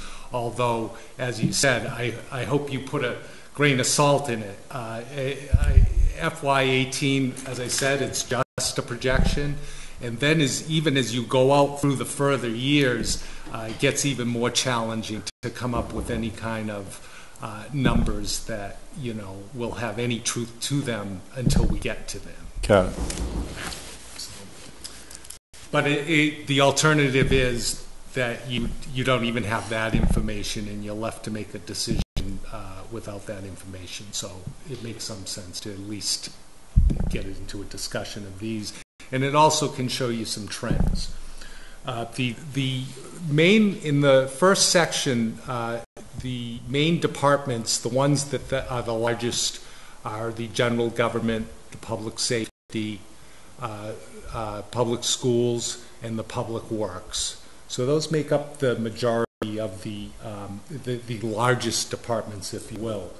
Uh, The challenge to the departments is to provide less services with a modest budget increase while maintaining quality services. So that's the mandate that we give to departments when we hand out, uh, is that if there are going to be, if, if, in order to stay within the constraints that you set forth tonight, services must be decreased, then we need to know about that so we can make more informed decisions on what we want to do in those areas. Uh, You'll notice that down below you have community preservation, water, sewer, and parks and recreation. Those funds, for the most part, minimally um, impact the tax rate, if you will, and the tax levy. And so I'm going to exclude them for tonight's conversation because on top of them being projections, they're projections based upon a, a different set of circumstances. They're mostly, for the, for the, for the most part, they're self-balancing and they don't need to be taken in context of this discussion tonight, in my opinion. Okay, let's stop right there for one sec. So we're going to back out the enterprise fund stuff. Everybody good with that? I think that makes good sense. You guys okay with that? Just focus on what we deal with in the other world, okay? Uh, Norman and I have had discussions about actually simplifying this a little bit and removing those numbers and just showing the impact they have on the tax rate, which I said, uh, again, is minimal, uh, which makes it easier to look at the rest of the data and make Yeah, I agree. Okay? Uh, Debt service, Uh, the amounts contained in your debt service line item uh, pertain to the general fund only. They're not community preservation, they're not parks and rec, they're not water and sewer. Uh, As a percentage of the operating budget in the past, it has been approximately six to seven percent. Uh, But in A- FY eighteen, it will rise to about nine percent as it currently stands. This is still below, but fast approaching industry standards of approximately ten percent. Future capital needs should be scrutinized carefully to ensure a stable and affordable level, and that we're nearing what that level is, in my opinion. Employee benefits and insurance, which is the line below it, down there. Although as a percentage of the operating budget, it has remained steady, we need to make every effort to make sure that we keep those costs contained and, and we work towards keeping those costs contained. Uh, we've made plan uh, design changes in the past and other um, actions in order to keep those at a reasonable amount. Transfer to stabilization.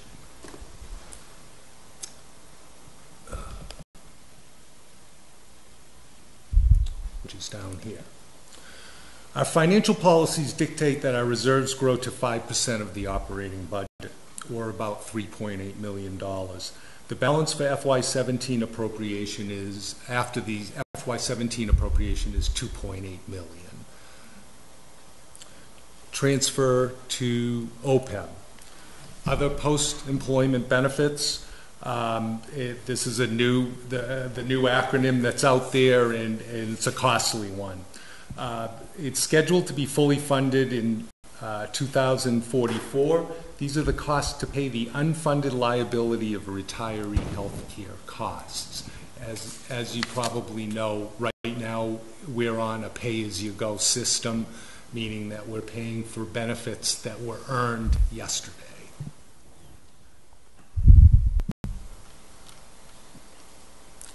Down bottom, you have your local revenues. Uh, or you have your, your revenues that go into the calculation. Um, one, one of those components is local revenues. These are general fund revenues that are not earmarked for any specific purpose. The largest, um, the largest amount in this class is motor vehicle excise taxes, estimated to grow or stay steady modestly for several years. I don't anticipate those going down, but some years they may go up more than others. For example, um, this year they seem to be uh, at a higher rate. It seems that more people are buying newer vehicles, um, but that's just the trends that I'm seeing so far. That can change. State aid, which is the next one down. It's expected to rise slowly in the future, but conservatively, I've level funded it. This number can go down as demonstrated in past years. Um, for example, the amount we received in FY08 uh, was 75,000 more than we received in FY17 10 years later. So we're just recovering now from uh, the, the um, recession of past years in that area. And again, right now, there's uh, some conversation uh, uh, about uh, state cuts midway through the year. Um, it, we've heard that it will not affect state uh, uh, local aid to communities, but um, we have nothing concrete that says they won't change their mind. Appropriations from free cash, which are right there. This is created by a combination of unspent appropriations and revenues coming in higher than expected. The, these funds are typically used in Hopkinton for non-operating costs, such as pay-as-you-go capital. Although conservatively estimated for FY18, I expect that number to rise when certified by the Department of Revenue. And finally, you see the tax impact of this. Um, I wouldn't be too concerned at this point about the overall tax impact. It's my belief that when the final numbers are known, the percentage increase will fall to an amount that is in line with past years in your directives. Okay.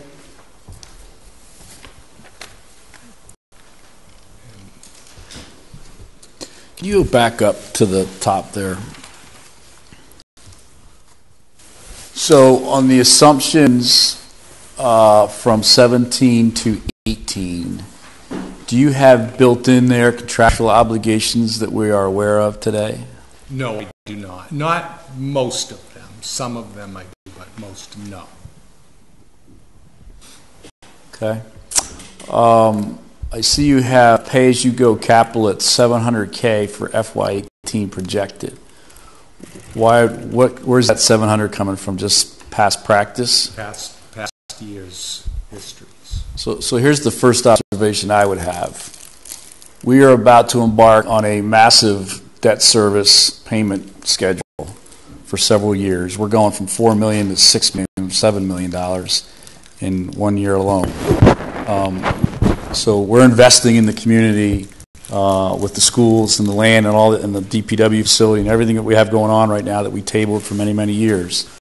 Uh, I I really struggle with having the best car and the best truck and the best this and the best that and keeping up with the Joneses next door and what they're driving and everything else when we've got this huge debt service coming at us. So that observation for me personally goes across every line item.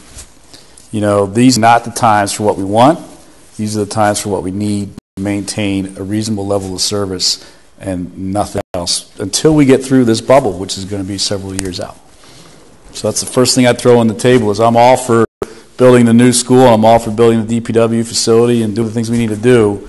But then when, when and I don't mean to pick on department heads, but when the department heads come and say, all right, well, I need this new truck and this and this and this because it's all on the schedule, they have to remember this.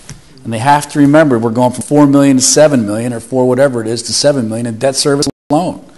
So, you know, we've invested a lot in Hopkinton in the last several years. And I just, I say it every year and I get frustrated because I cave on some of this stuff, but uh, this is not the time to, to, get, to have the best of everything. And we're getting used to having the best of everything. And the residents are getting used to having the best of everything. But we can't afford it for the next couple of years because we are investing elsewhere. It's not like we're shutting everything down and just throwing away the money. We're spending some big money to get some things done. So, on that pleasant note, who else would like to jump in? Anybody? Well, I, I Lori? Um, well, I certainly, just on behalf of the committee and, and to the board of selectmen and Mr. Khumalo, and I'm sorry, I just, you had your name, Chris. Chris. And, uh, Chris is good. So I just wanted to say, like, thank you very much for having us here. Um, because we're about to embark on our budget process, um, at the end of November, and this is immensely helpful for us to level set as we start that process, which both the Board of Selectmen and the appropriations will be invited to all of those meetings.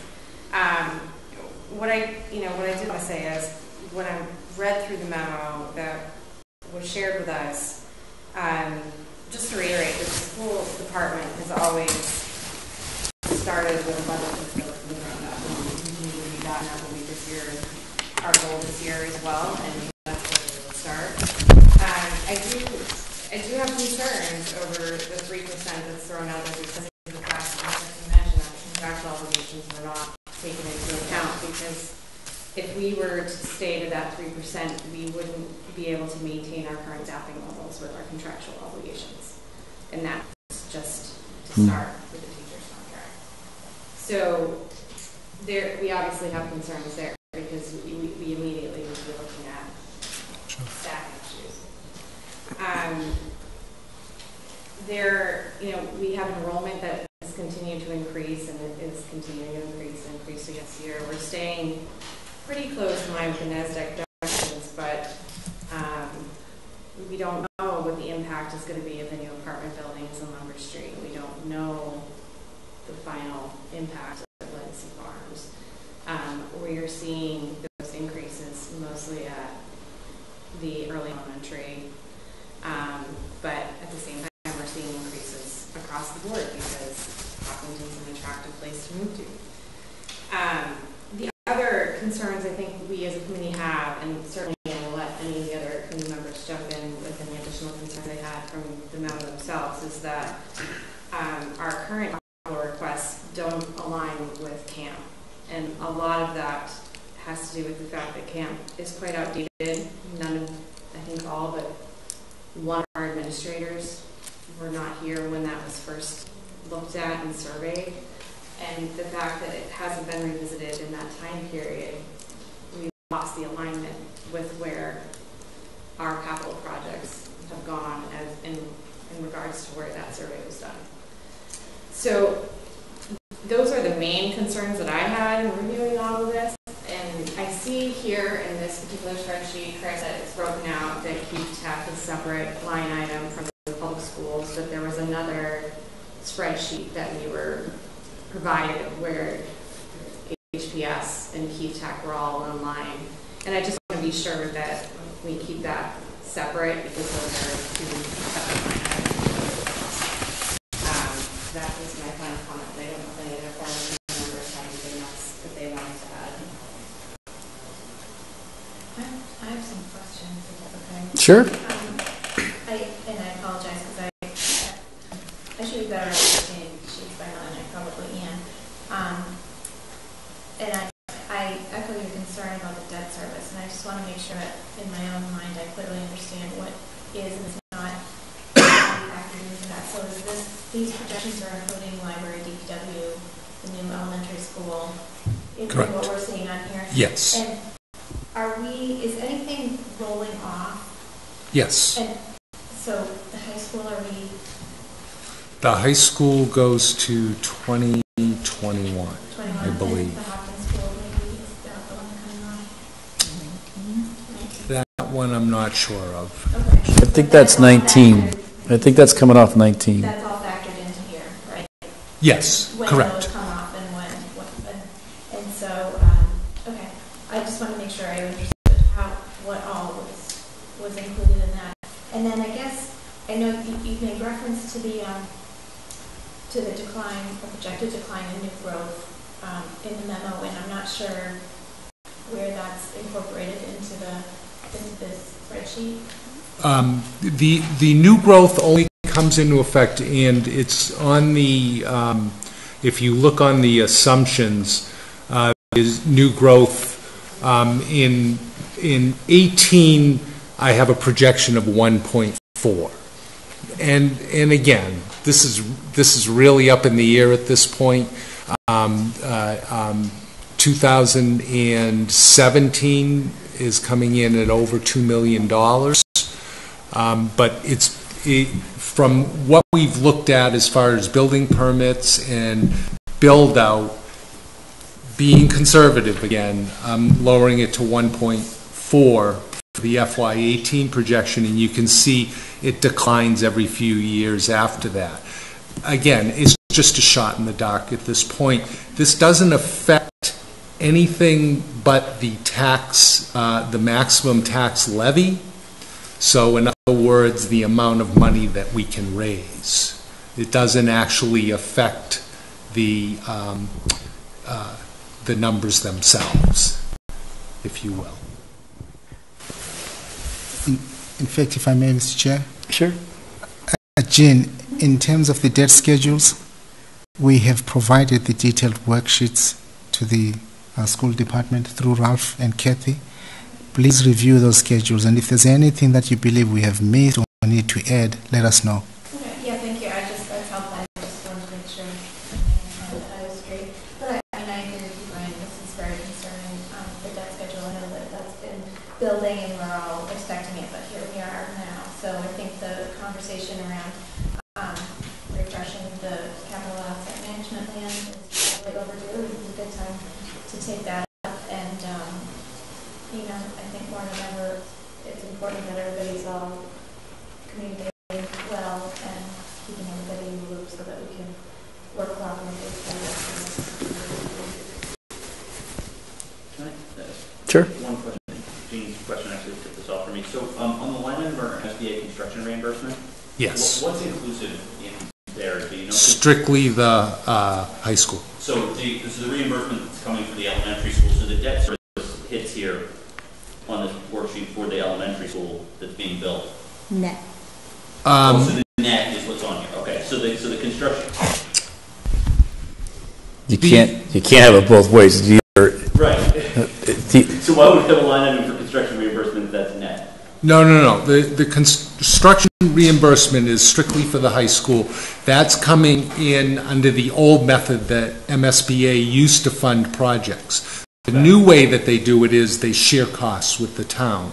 So all you'll see is the, the We're net now, borrowing. way, We're not borrowing the full amount. That's we're correct. the net amount, that's the. That's correct. Thank you. What is our current bond rating? Uh, triple. Triple A. Triple A? Yes. Triple A, is- what are the, what are the ranges? Can we go to triple A plus, or is it triple A it?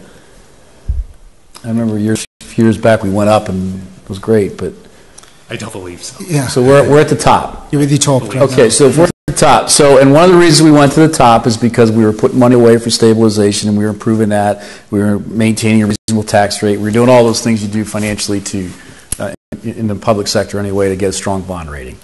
If we don't do some of that, what happens to our bond rating? It, it has the potential to go down. Which would raise our interest rate on the borrowings a little bit. That's If, correct. if we don't put 500 grand in stabilization next, the next two years, we've got almost 3 million there, and I remember not too long ago, we barely had a million. But if we don't put 500 grand in for the next two years, and our bond rating drops from AAA to AA or AA plus or whatever, and we pay an extra tenth of a point, that extra tenth of a point costs us $80,000, we're still got five, so my simple, my, simple math here, we're 420K to the positive, at least in that tax year, uh, you know, maybe that's not the best long-term strategy, um, but we got a cash crunch for a couple of years here that we have to consider. So those are the kinds of things that I'm thinking about as we go through this process that we have to consider. And things like this meeting uh, help our tax, uh, help our rating, as a matter of fact. It's one of the things that they'd identify that they like is that we have these types of discussions. Excellent. So we just need to have more often. Oh, no, we have plenty of meetings. you guys have plenty of meetings. Mrs. Wright. I just want to ask the school committee about um, the projected enrollments and fees and everything, and quantify what you expect. Because I know that from the beginning of the Legacy Farms project, there were some very specific projections based on number of bedrooms. There was a number, if they exceeded they were supposed to pay, out to the town. And um, in recent years, my understanding has been that they've been pretty much on target with what was projected. Um, I also know that, you know, last year, the numbers that were reported for um, enrollments were basically flat. Um, I know between projected and actual for high school, it was down 17. Um, Middle school, between projected and actual, it was up 15.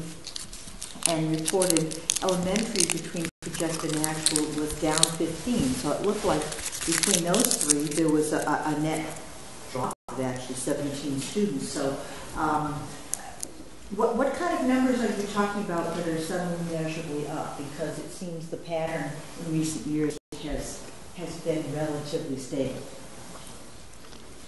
So if I'm recalling, and I don't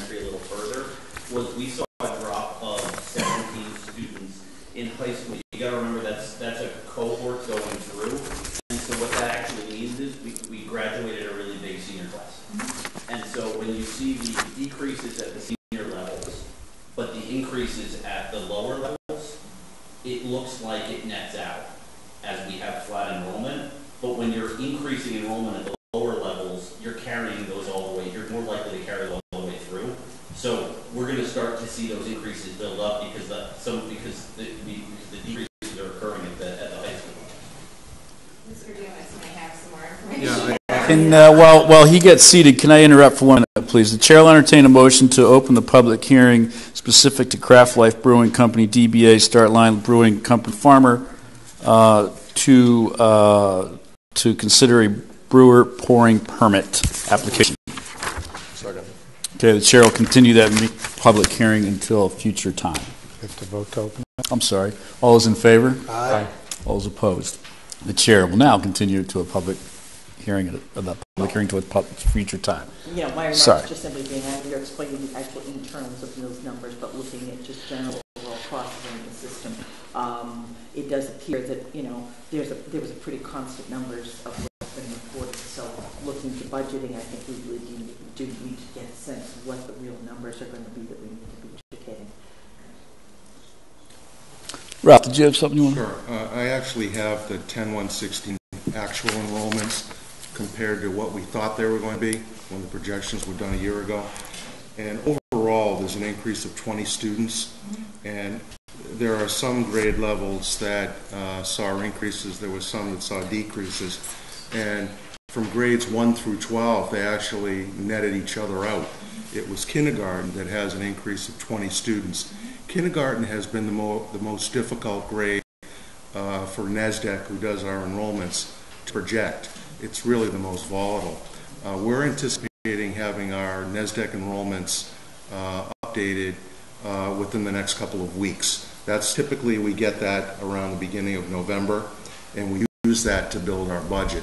At this point, we're simply using last year's um, projections for FY18 and building our, um, building our budget. Understood. And I mean, it makes sense that the younger grades are where we can get lots of new housing, some, some of the smaller units. You know, it's logical that it might attract people with younger, smaller children as they get older. Maybe they move into bigger housing or move elsewhere. Um, I, I'm just asking, just, or kind of just throwing this out in general terms that when you are looking at budgets, we need to talk about what's really run to cost, cost to run a school system, and a big piece of that is how many kids are we educating? And, you know, if you're talking a- an increase of several hundred, it's uh, a different set of circumstances than if you're talking in, you know, tens and twenties. Well, I guess what I would just beg to differ a little bit on that is that Hopkinton as a whole, the town has commented on this multiple times, is prided themselves on the size of their classroom. Well, twenty students is a classroom. Twenty students is a teacher. So, eh, talking in twenties is actually, has a real impact, um, not just. So, that's where I think that maybe, maybe if you were in the tens, maybe that would have less of an impact. But when you're getting upwards of twenty, it, the classroom sizes have been held between twenty and twenty-two at, at the request of the citizens, and, and not every district keeps them that. So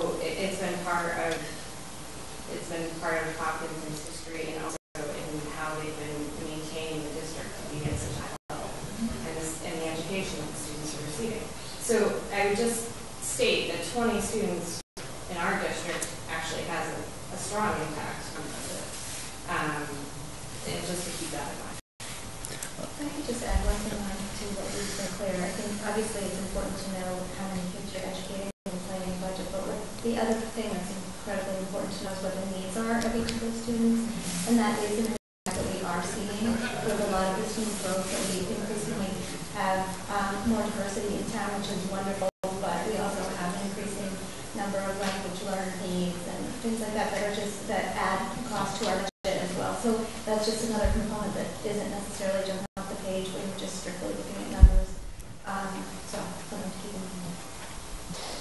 Anybody else? Yeah, um, actually, I get a couple of things. I have a general statement. When you were talking about um, level services, why do we always say level services? You know, why can't we get creative sometimes and say, we're going to get better than level services? You know, when I think of what the, the, the fire chief did, you know, we gave him a budget of whatever it was to, to repair a truck and do something else. And he came back to us and said, hey, you know, I can dump this, I get rid of this truck, fix this one, and I can buy a new ladder truck. You know, this is some of the stuff that, that we've really got to start working on is, is you know, why are we saying level services and, and, we're, and we're trying to stay at, uh, at um, you know, keeping the, the tax rate uh, increases at, at 2.5%? You know, even what you were just saying about the, uh, you know, 500,000, we drop, drop it by a tenth of a point, it's only 80,000. My father always said, so how much you make, it's how much you don't spend. And this is what, this is the way you've always been uh, on the board, keeping the taxes low, because, you know, when, when we're talking about 20 new students, and, and the, the size of the um, uh, school committee budget, or the, or the school's budget. Uh, you know, and then we look at the new growth. If the new growth you know, comes in at uh, 1.4, uh, 1.4, 1.8, the tough part is, is in the last few budgets, the schools, the school's budget ate up like that whole 1.8. And, and so the rest of the town has to go level funding in, in, in order for the stuff to, to work out. So we, one of the things we have to really look at is, is, is you know, can the schools get as creative as, as like the fire department did, and think outside the box, and, and maybe try and do some things, some things like that. You know, and, and even and, and even the uh, DPW and the rest of the departments. We just we really just got to start thinking outside the box. Even when it comes to contracts, there was a there was a uh, uh, one of the financial channels. They were talking about OPEB funding and how uh, there were two towns right next to each other and one town really worked on their contracts, and uh, they're completely uh, funded for their, their OPEB, and so they have no worries about uh, any of the retirement services for any of their employees because they, because when they did contract negotiations, they were reasonable. And then the town right next door had uh, gave great raises to everybody and great great benefits. They're not funded at all. So I'm just saying, we could just get, get we might be able to give better than the level services. So I um, last year, it was last year, I sat in on a couple of the school committee budget meetings before, you know, after this part of the process, and they were into the nitty gritty of their line items. And um, I mean, they literally went through and talked about this, this, and this we don't need, that's out, we need that over here, so that's going to have to be out over there. And, and they were horse trading and trying to find different ways to keep that overall number you know, down because they know the contractual piece is a big challenge and they want to support their teachers, uh, but they've got other, other things they got to sort through as well. And I think some of the, the educational needs of the students coming into town uh, kind of skew the numbers sort of per, per pupil spending and so forth. But I saw a very vigorous process to not take the 35 million I had last year, and I'm getting 37 million this year because it's two and a half percent or three percent, and that's the number, and you know that's what we're going to ask for. I mean, they were they were grilling each other as much as you and I argue about some things too, which I think is healthy. Um, hey, but, I must say, I, I, I got to thank Hopkinton Schools because my kids are so thank you very much. So anyway, I, I, I, do think there's a vigorous process there, and, and I'm sure we have actually I've seen all the 28 invites pop up in my email about the meetings coming up. So uh, I'm sure we'll get chances to go and watch that too. But it's a great point, but I think it does happen. Uh, we just don't see it as much, and it's kind of like the taxpayers uh, in general that you know are concerned about their taxes going up, and they may not have an opportunity to participate in the meetings and watch what we do and the haggling that we'll go through and they say, well, you just raised the taxes. You know, I mean, we don't just raise anything. We we beat ourselves up going through this process and do the absolute best we can, given mass general law, which frankly drives an awful lot of this, and given the expectations of the citizenry. You know, I think we do the absolute best we can. I mean, we had an underride. He was the champion in underride at the end of the table there. That's unheard of in Massachusetts fiscal municipal policies. I mean, we passed an underride in Hopkinton, so we're, I think, very prudent and very fiscally responsible, but we never have enough money and we never keep taxes low enough. The, those are the two sort of facts of life in trying to sort through this. Uh, but we got to keep doing the best we can. So, first of all, I mean, I want, I want to thank um, our school committee um, and you know everybody who participates in, in this whole process. I mean, there may be at times, you know, the bickering that we have back and forth about, you know, who's, you know, about the budget and how the budget's being spent and uh, the amounts of the budget. But the bottom line is our school committee is incredibly successful, and all of, I think all of us have kids who benefited uh, from a strong school system we want to see that continue. Um, you know, we, we also want to see the services stay at a high level within Hopkinton. But when we start looking at the bottom line here, um, you know, in the next year, our debt service is going up $2.1 million. And that alone uses up a 2.5% increase on the budget from last year, to, from this year to the coming year. Um, so essentially, any increases above and beyond that, we're starting to chip away either at um, uh, either at the excess levy capacity, or we're starting to look at uh, needing to find new sources of revenue, or we need to start thinking about an override. Uh, We're so not saving as much money. We're not saving as much money, exactly. So, uh, you know, to, to the comments of Mr. Coutinho uh, and, and the praise of the fire chief in, in finding a creative way to get the equipment that he felt the department needed and the town needed. Uh, you know, it's one of these things where necessity is the mother of invention. Uh, and, and in this case, uh, it was the mother of this creativity. And we may be getting to that point where, you know, we either need to just break out the checkbook and start writing bigger checks or really push people to being more creative in getting their jobs done. Uh, and, uh, you know, we've been saying that for a long time. Uh, you know, it hasn't been so much out of, it hasn't been pushed to the point of necessity uh, in the past. But, uh, you know, and, and I think that we have an incredibly hardworking staff, uh, both around the table now as well as the people who report up to them. Um, but, you know, again, we're, we're getting to points where, you know, we've made, we've had these votes over the last several town meetings. And now we're in a position where we're really being pushed to the brink and it's difficult to have any type of increase in operating expenditures other than the ones that have already been committed to contractually and through town meeting vote. And so now it's we're coming to the point where it's uh, time to pay the piper. Can I add just a, a Sure.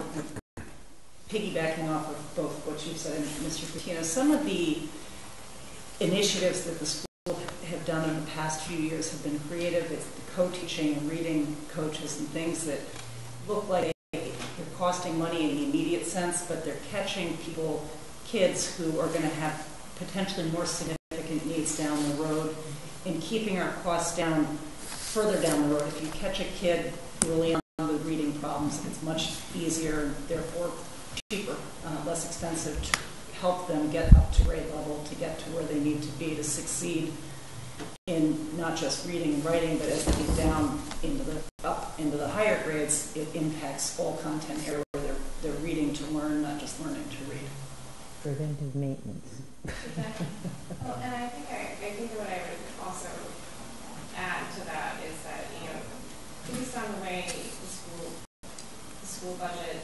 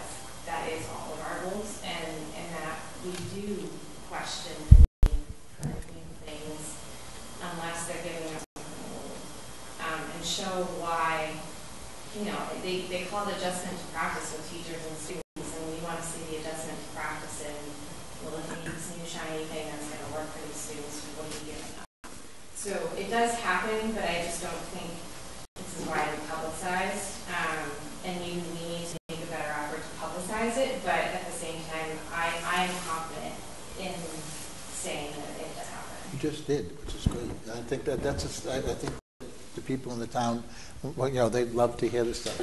Thanks, I just loved hearing it too. And if I could pile on to the chair, just really quickly, uh, talking about publicizing it, a couple of weeks ago, Dr. Carol Kavanaugh, assistant superintendent, presented the accountability report, which is, a lot of what we hear is, what are we getting for the money from the school department? They talked about the MCAS results from last year, as well as several other effective measures. It's out on the district website. I would encourage everyone around this table and everyone watching to go look at that report, because the results are startling. Um, the results achieved at the middle school are such that they've never had before. Um, the one that sticks out in my head is two-thirds of our third grade students scored advanced in math in the MCAS. I mean, the numbers are, it, it, I mean, the, the level of joy and pride from Dr. Kavanaugh and Dr. McLeod presenting this was really noticeable to see. So when we talk about budget, I think it is important to, to talk about value of cost, and that's a great example of it. So our friends from appropriation have been very quiet and thinking it all over as they always do. I can't get in. I tried. I'm going to take it to a, top, a more top level. So, and the questions may be more directed at Chris. The tax impact net of new growth of 4%, does that include the excluded debt that we voted on the past few meetings, and that's why that 4% is there? Yes. Okay. So do we know how much of that 4%, if we took out excluded debt, which the town has already agreed that they, by annual town meeting vote and, and ballot, that we will exclude this from our normal increases and whatnot, how much would that increase be if you took that out? Well, you exclude the actual debt, but you don't exclude the debt service to pay for that debt. True. That's there's a little bit of a misnomer, like, oh, this is have to excluded and it won't for come out of but our would regular need to pay budget. for it outside of the regular operating tax levy. Right, but the debt service to fund that outside purchase is still in the operating budget, True. Right? Right, but it's impacting that tax impact number. Well, the way I'm seeing it is. Two you're million gonna- dollars roughly, so it's about two percent, two and a half percent. It, it's actually the 2.4 that you see for the variance is approximately the amount that we have in exclusions. But I thought that was new gra, new growth, that difference. No, The the 6.4 to the 4 point, to the 4? That's new growth. Right. But- So then, between 4 and what is the excluded debt portion? I can tell you that the amount of the excluded debt is about 2.4 million currently. I, I, as far as I can't do ca- math without a calculating that for you, I can't calculate. So I'm But I thinking think it about- just goes to the general point we're all discussing tonight is that we're ramping up our debt service. Right, which the town has expected because Right. the town has all voted Town's on voted this. that, correct. But, so then it comes back to, a further question is, is the Board of Selectmen okay with this kind of increase, or is it gonna get to you and you're gonna say, I would like to see two percent, or I'd like to see three percent? And all of a sudden, everybody has to backtrack and figure out where that extra percent's gonna come from. So that's one question. The other, go ahead. Can, um, just as far as, i- if you took the 2.4 out of the excluded debt, your variance between the levy limit and what the taxes we're raising would be pretty much zero. In other words, we'd be bumping at the top. We'd be two and a half percent. That's correct. Okay. Okay, so the, uh, the- with that being about 2.4, we're just about covering uh, what we need to without using any of it. But it's always nice to have that there in case we run into turbulent times. As far as the amounts being six and four, um, I'm being extremely conservative. Uh, And there's a reason for that. You don't ever want to be on the wrong side of that number. So um, I do expect that to go down. There are, there are several level-funded, uh, levels, level uh, estimated receipts, or they, I have them rising very slowly. Um, I think between all of them, there are, will be a few that will come through and that, that, that percentage will ultimately go down. But I don't want to put that percentage there now because then everybody thinks everything's fine and, and going on as usual. That, there's a reason for that. That's because of the the increase in our debt for the most part. Okay. Over, over prior years. So my other question refers to um, the free cash. And I, I'm not sure if it's Mass General Law or our town financial policy, but I believe we can't use it for operating budget expenses, correct? It's It's frowned upon, right? yes, it's it's it's actually stated in the town's financial policies that we will, by all means, avoid using free cash for ongoing expenses. Okay. So can we use free cash to pay down debt? That's Can it, can I just- just jump yes. in and ask a clarifying question? Is that in the same fiscal year or the next fiscal year? I mean, we've taken free cash and assigned it to the revenue stream for a future year and then built it into the model? We've never kept it isolated, have we? It, it's usually going for capital articles or excess snow and ice or OPEB or capital stabilization. All that's, all that's in the mix here. Y- Yes. But to- it's to not your- in the operating above the line. Yeah. In answer to your question, we always apply it in future years. In future years, yes. Yeah, we have to certify it, so then it's a year out, sort of thing. So the question becomes, once the free cash for fiscal 17 is certified, instead of using it to build a stabilization fund further by 300,000 or to use these pay-as-you-go capital, could you use it to pay down some of the debt service that the town would have to pay in fiscal 18? That's an option we will consider this year. Yeah, we have Re- re- recall, those decisions are made when we know the scope and scale of the budget, I know. and then have to decide on the funding sources. But it's an excellent question because I think it goes to really what we're trying to sort out tonight. What is the message? What is the what is the uh, direction and guidance we want to offer to the community and our professional teams to start to build these budgets? And I think the message, at least from this seat anyway, is we're going into some extraordinary. We've been through extraordinary times, very difficult times, and we got through them actually and came out with a AAA bonding, right? Uh, over the last ten years and some of the things that have gone on. And now we're going to extraordinary times of a different kind, in that we're really investing in our community for the next 50 years. And as a result of that, we're going to really be looking at these budgets wholly different this year. And we're going to be looking at what we set up for reserves, what we set up for savings, what we set up, what we do with our free cash, and what we can do with uh, capital items and, and, and, and a bare bones approach in a lot of other areas so that we can make these investments without negatively impacting the taxpayers. That would be the message if I were to be giving the message this year. I don't know if I said anything there, but You did. felt good. Uh, so, in the interest of time, folks, does anybody have any other burning things they want to get off their chest? Yeah, I just had a couple. Hopefully, they're quick. But you know, I, I definitely like the model that we're going on, and it, it's a good basis for where we see where we want to go in the next couple of years. So I just have a couple of questions on you know a couple of the assumptions that are in there. I saw like the health, employee benefits, and health insurance. I guess the insurance. That's health insurance. It's up the next couple of years, three percent. Is that is that really accurate, or I mean, if we can hold at three percent, I think that'd be great. And I just was maybe one year you can do it, but all four years is that realistic? We, wish us luck. Yeah, right. We- Because you know, when I saw yes, it's it's it's a low estimate. I think based there are several reasons why we, we feel comfortable going with the three percent, uh, based on how we're doing this year. However, in, in my in my conversations with um, our our broker, the the number that is being floated out there for health insurance increases in FY18 is is higher than three percent.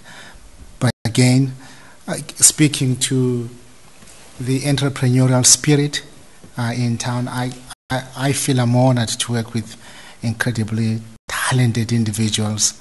Uh, in all my conversations with department heads, with the school superintendent, I think all our conversations are marked by a strong desire by all parties to find efficiencies, uh, find savings for the community. Uh, but most importantly, also, let's remember some of the strategic decisions that the community has invested in in the past years, anticipated this year.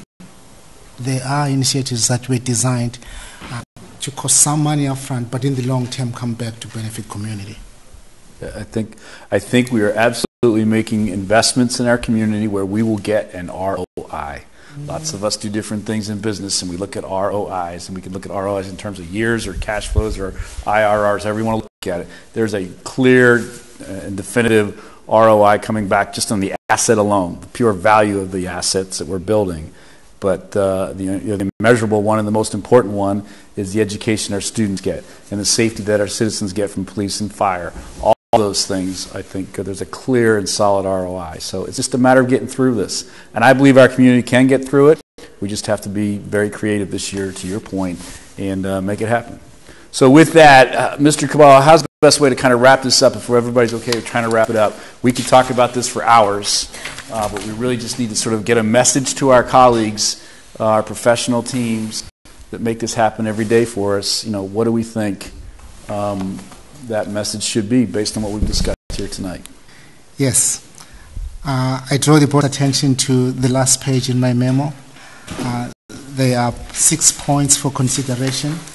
Uh, I think there are a couple points listed there where you received some, some feedback on. Uh, it's up to the board to, to decide on how you want to proceed. Um, the six points basically summarize, uh, I think, everything that you've covered building the budgets from the ground up, this is a practice that we have had in place. It's a practice that we continue to improve upon. We want to continue doing that. We realize that there are contractual obligations that the town has to meet. We need to clearly identify what they are. Um, also, as Chris said, there may be strategic initiatives that may be impacted by the change in our um, funding levels or budget approach. We, we, we need to know what those those, those um, strategic initiatives are. And then, clearly, the number one and three percent was put out there as a guide. It's up to the board to decide based on what you are hearing and what you saw in the model. Point is well taken regarding the capital asset management plan. In my memo, I did specify that at least we will charge the permanent building committee to uh, sit down with everybody else and, and update the plan by the end of the calendar year. And then finally, as has been said, let's continue that pursuit, that diligent pursuit for um, finding you know, efficiencies for the community and savings so that at least we can minimize the tax impact. I like that message you just put forward for the, with using those six points minus the one and three percent. I'd like to, at least from this chair, take those numbers off the table right now. I don't want to set a number uh, for an increase uh, until we do all the other work that you described in that message. I w- if I may. Because if we if we address stabilization and we address uh, we minimize OPEB and we do a few other things and our colleagues do other things, I mean, who knows what those numbers are going to be? So why do we why do we say one and three percent? It's kind of early in my mind for that, because that just sets a goal and a target that, that they're just going to come in, you know, and. I, Mr. Chair, I guess one of the things that I've heard over the last year uh, is that um, one of the reasons that the and I'm not trying to put words in anyone's mouth. I'm just taking a message that I've heard. So one of the reasons that the school committee has come back with numbers where they have in the past uh, is sometimes because they don't know what the expectation is. So yes, they do. You know, they put in the necessities in their strategic their strategic plans, um, and you know they they present all that they think is reasonable to us. Um, you know, partially because we've never put any specific number. And the, the message that I was getting was that they were looking for a specific number. And if you guys want to correct me, then go ahead. But that's what I heard in my conversation. So, um, you know, I mean, to me, it seems like we need to be putting a number out in the message. Okay. Either that or we all agree to get together again once we have more data, you know, whether it's in a month or a month and a half, and we revisit the message and we revamp the message and plug in numbers that everybody thinks might be aggressive but doable. Chair, um, so I, that's probably been the, one of the leading voices of that, that sentiment from the committee. Um, I, I would say um, the, Mr. Sandini and Mr. Khumalo presented here, um, is certainly extremely comprehensive, and while it's a lot of projections, we understand that, I think, speaking as a, a- myself as a member of the school committee, I feel like we have more to work with at this stage, even just in sort of guidance and understanding where some of these projections are, than we've had in past years. Um, I, I, I think I uh, understand what drove the three percent in that memo, and obviously we've shared our constraints that we see going forward. I think, I feel like we, the guidance is sufficient, is sufficient in terms of we know kind of what, what parameters we're, we're trying to work under. So whether or not it's the, the board feels they need to put, hey, obviously it's your, um, a budget statement, but I, I don't know that we didn't necessarily need that level of detail that says, here's the number we want to look at. I think we've got a lot more information than we've had in years past, and I feel like we can do in November and December a, a lot, a, a much more, um, effective job of finding that number that fits into both the needs of the school, but also the realities of the town. Okay. Anybody else? We're on the message now. So we've got six points suggested as the message uh, from the town manager, and the discussion is about whether the one or three percent targets are in that message. Any opinions, thoughts? No, I, I just, I'm just glad that it was brought out, you know, the, the people understanding the debt service and how much of the, uh, how much of a tax increase that could actually just hit and, and the, the pressures that we're all under and, and, and the messages that come forth uh, about uh, the creativity that's coming through from all departments. So, um, I think we can, we can work with it. I think that the want versus need sentiment is going to be huge moving forward. And uh, it's going to hit every department. It's going to hit the schools, the fire, the police, the DPW, the library. It's going to hit everybody. And uh, you know, no one's exempt from it, and, and th- those are going to be tough decisions and, and tough conversations to have. But the want versus need is definitely going to uh, come into play moving forward. Okay. So, so are you guys advocating to leave the one and three in the message, or are you advocating to take it out for the time being until we come back and reconvene? If I, I mean, I like, I think this is very healthy, just in general, by the way. So, um, yeah, hoping that we come back and reconvene.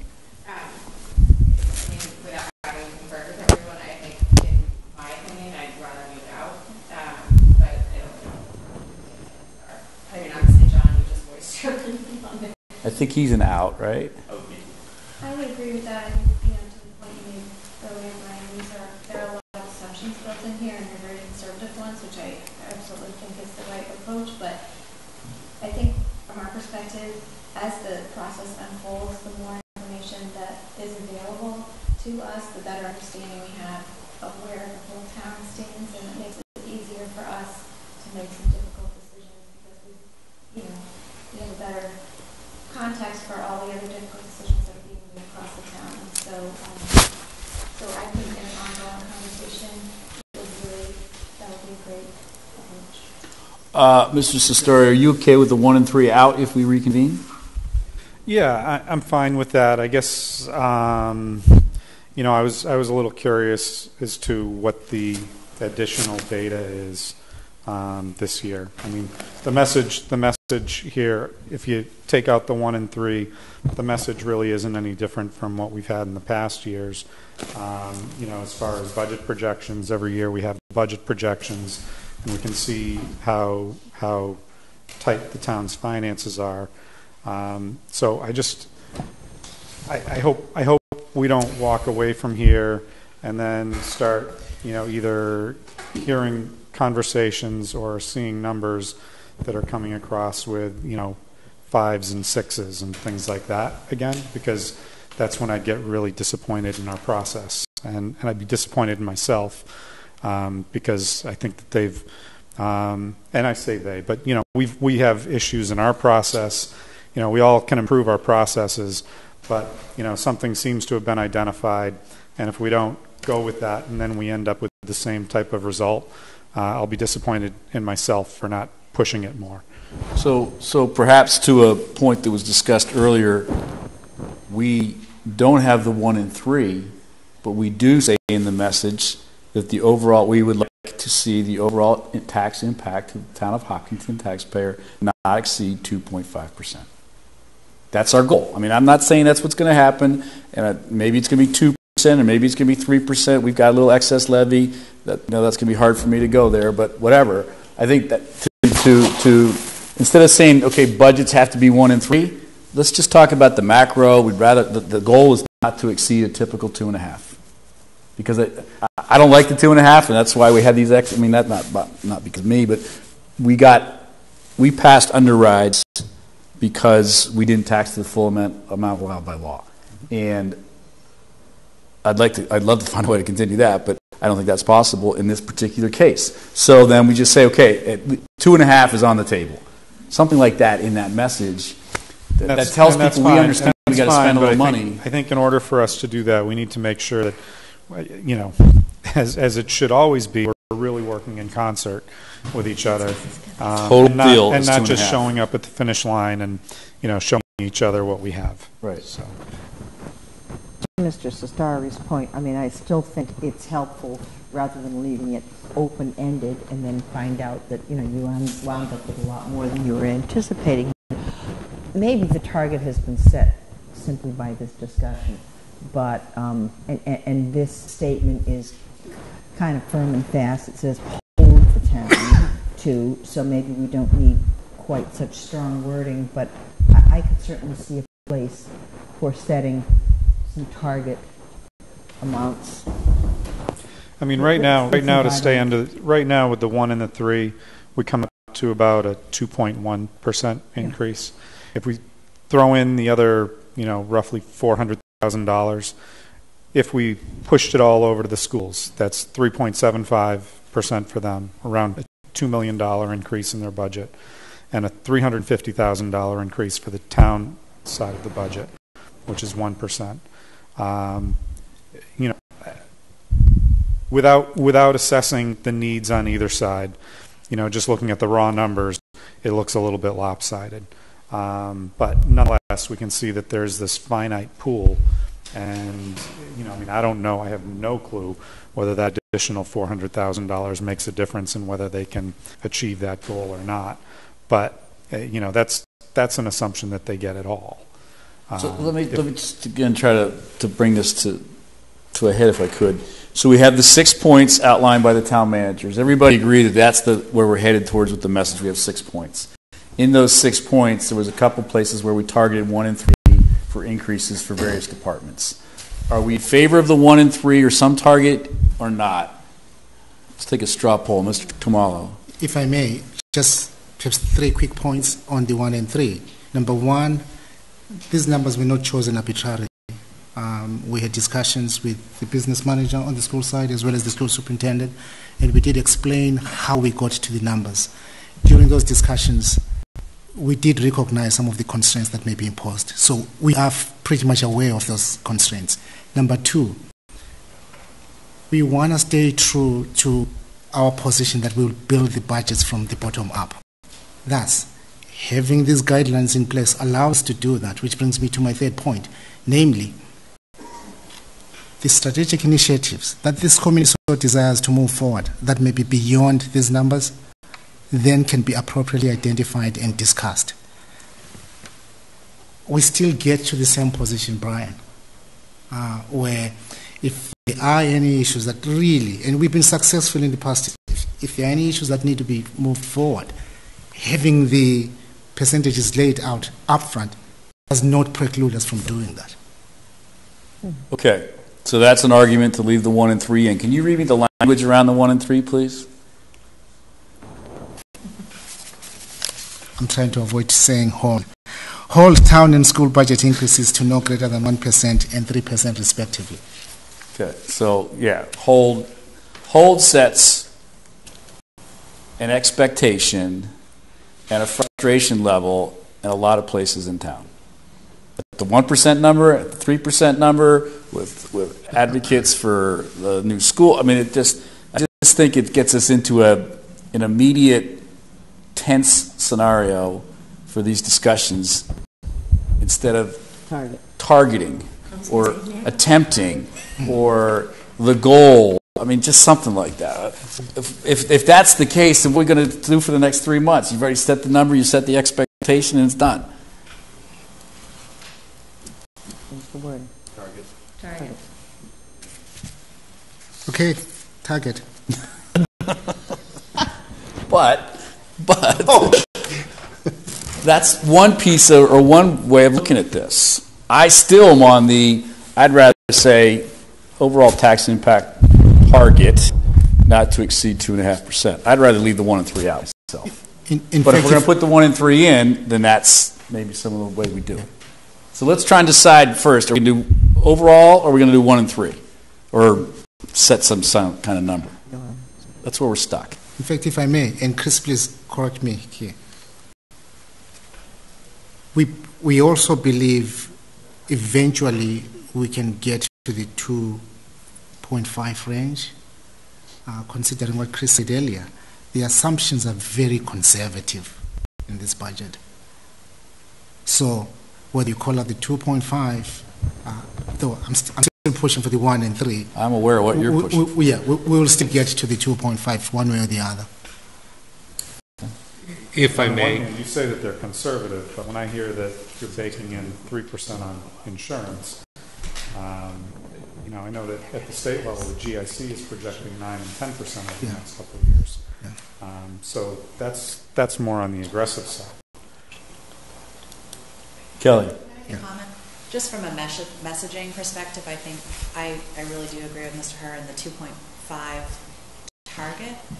As we approach town meeting every year, it becomes pretty apparent that there's a, like a town versus school committee budget. You know, people are like, why do we have to vote all at once? Why can't we break them out? You know, I think the togetherness, and we're all in this together, and we're all trying to attain what's right for the town at the two and a half percent.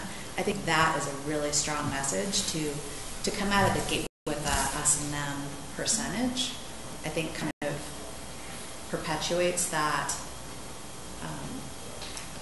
competition's the wrong word, but the us and them budget. So I, I really like the, the cohesiveness and the, um, or we're all in this together nature of the one I think that's an excellent point. Um, but I think, I, again, I think that if we're going to be putting out that 2.5 number, I think that we need to make sure that there's a much more coordinated effort in working toward the 2.5.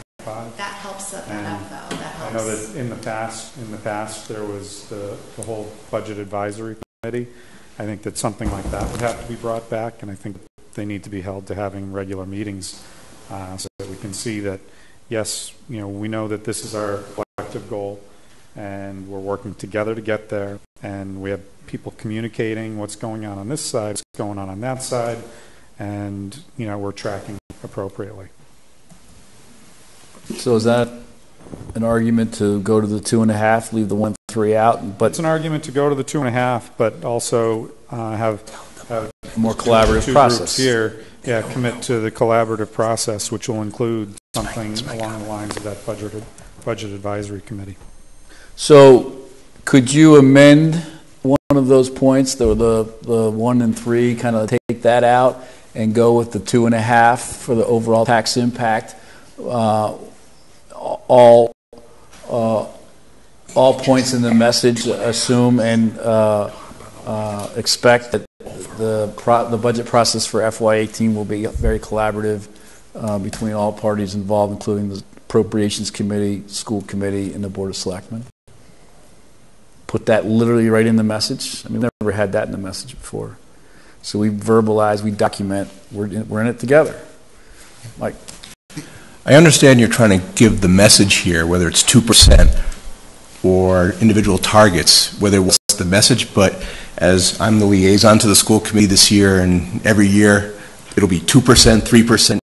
They start with 5 or 6%. My first comment is, well, the Board of Selectmen said 2%, and I'd like to see a realistic target, the one that can be achieved, and if it's, if you already determined it's 3%, keep it at 3%, but if it's not, make it a real target that we can watch, and, and and if the budget message says 2.5% overall, I'm fine with that, but I think individual departments have to have individual targets. I think we'll get to so those target numbers down the road, but I think if we start at the macro, the taxpayers at home, they want great schools and they want great services and they want to pay for it. I mean, that's fair. I get it. Neither do I. But, you know, they just want to know their, their first question, you know, they want those things. They, those are all expected. And then they want to know is it going to be more than two and a half? You know, because two and a half in other communities, there's the dreaded override word. You know, we don't have to have that quote word thrown out there, but we don't want to go above two and a half just because we can. You know, I think I think they'd like to know what their tax bill is going to look like probably first and foremost after they make sure the kids are going to get educated well and they're going to be safe at home. I'm sorry, very quickly. I, I agree with you to change it to target. I also agree that you should add a message in there that the overall tax impact should be two and a half percent.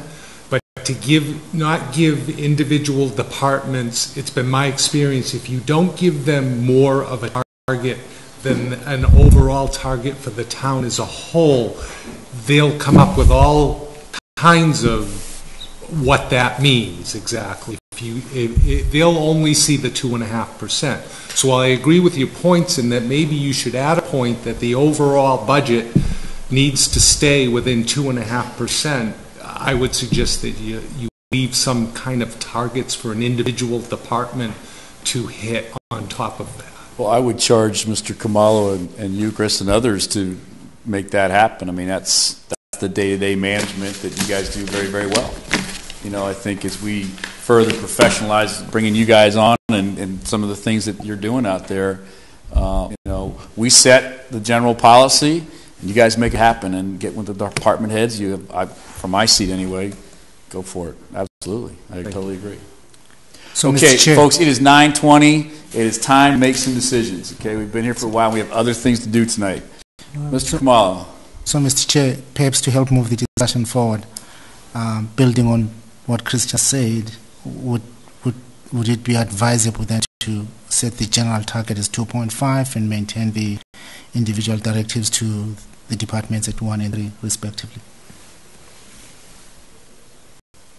individual targets at one and three, uh, with an overall tax impact of two and a half.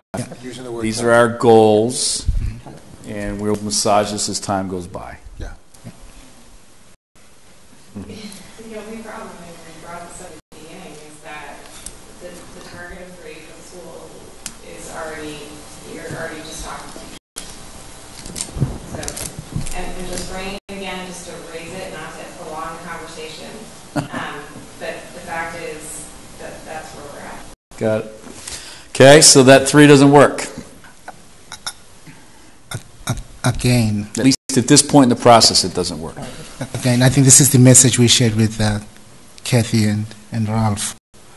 I've been here seven years now.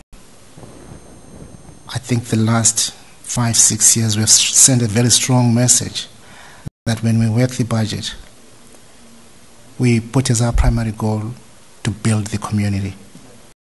So we're not sending a message that we cut services. That's not what we're saying. We're simply saying how do we best create a manageable process? And what we're suggesting is let's build the budgets up from the bottom. Let's set targets for ourselves. Point is well taken. Keep the lines of communication open. Should adjustments be needed? That's why Dave has done a good job building this room. We'll all meet here and discuss those suggestions. Again, by having the targets, I don't believe we preclude the opportunity for people to do what this community requires us to do.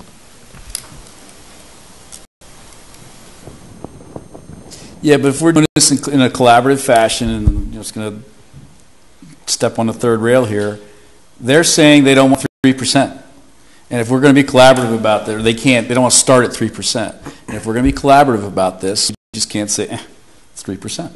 We're, we just spent an hour and a half hanging out together trying to sort this out. So I don't want to ignore that input. You're basically, I, I, You know I love you, but you're advocating that it's 3%.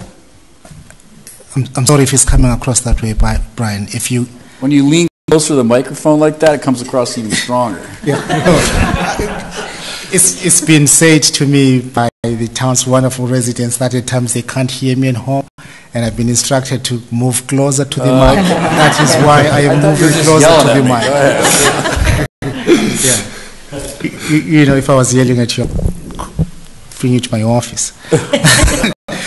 um, I, I, again, the intent here is not to impose a number on the schools. Then don't. But we also have aspirations in terms of how we can move this process forward efficiently. I, when I hear you acknowledging that, I fully acknowledge that. I, I think the aspiration, the high level aspiration, is two and a half. Everything else we have to figure out. And the two and a half works with the one and the three.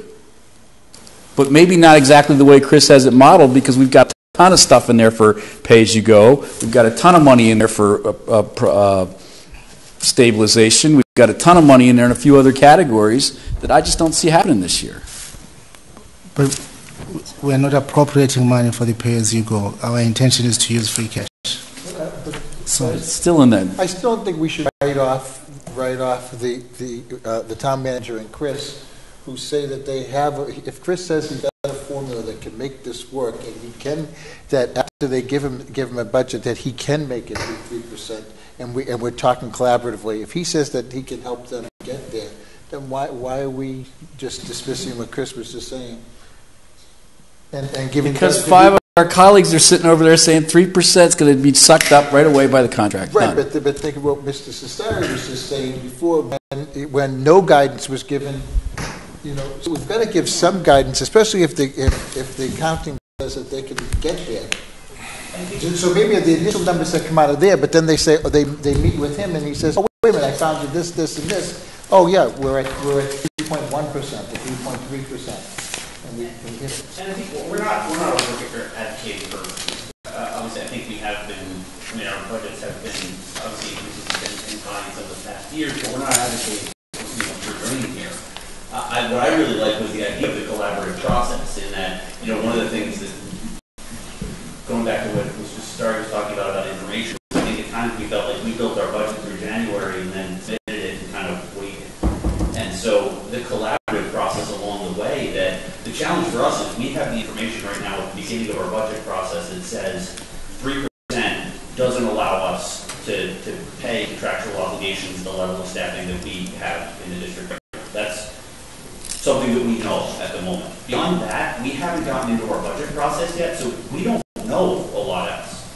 But I personally would welcome the collaborative opportunities to come back here as we start to get into more numbers, and whether it's in a budget advisory group or another joint meeting, rather than getting to February, March, where we're talking about our number and how it fits into the overall town budget, talking about where we're, where we're heading in December, and how we can help work towards those goals that we set out. My concern is this budget statement gets published, and the budget statement gets published, and it says the target is three percent, and we come in at, I'm making up a number, you're three and a half, and I know you're, I, I, from, we've worked on a lot of budgets together, I know that Mr. Khumalo, you'll, you'll work with us to make this work, but then all of a sudden, it's, the budget statement said three percent, you guys came in at three and a half. And so that, that's the concern about putting that number on there when we're sitting there saying, we again, we're can't only make saying three target. it's a target. We're only saying target, we're not saying whole.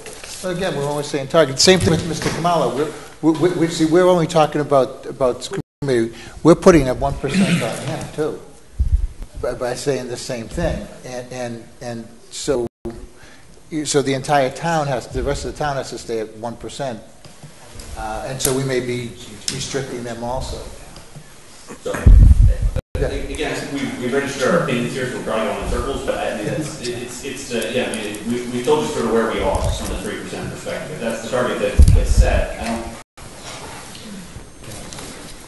Mr. Hart, I think that, I think that going with the 2.5 overall and process is really kind of the middle ground at this point.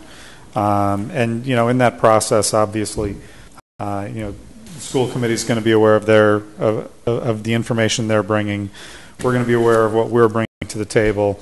We're going to share all of that. Everybody be, will be aware, and we can have further conversations as we're moving along if we see, you know, either one of us kind of veering off the track from what we think needs to happen. Okay. Um, you know, I think that that's the only way to, to move this conversation at this point. So is there a motion in that statement that the message would be something along six lines, or the budget message will be the six points made by Mr. Khumalo uh, with the adjustment, removing one and three and putting in a target of two and a half tax impact, however you put that into that.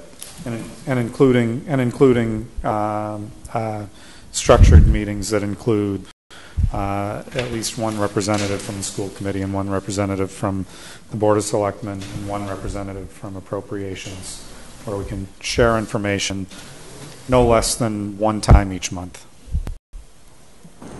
through the process. And a couple of other joint meetings that we don't have to throw into motion, but I, I want to do these too. I Just think because one person, one of us goes off and does something, and we come back and tell the other four they don't like it. You I think, your I think at least once a month is reasonable. I don't want to, you know, go in, but I, I want it to be something that's, you know, at some level binding where it's going to happen. Um, but I don't want it to be something where we're trying to you know, make a schedule right now. Mr. Khumalo, is that acceptable to you?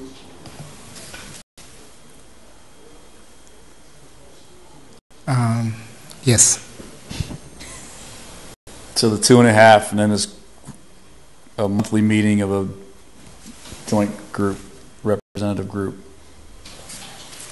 Yes, we'll need to sit down with Kathy and Ralph and define how these meetings will work in terms of giving actual numbers.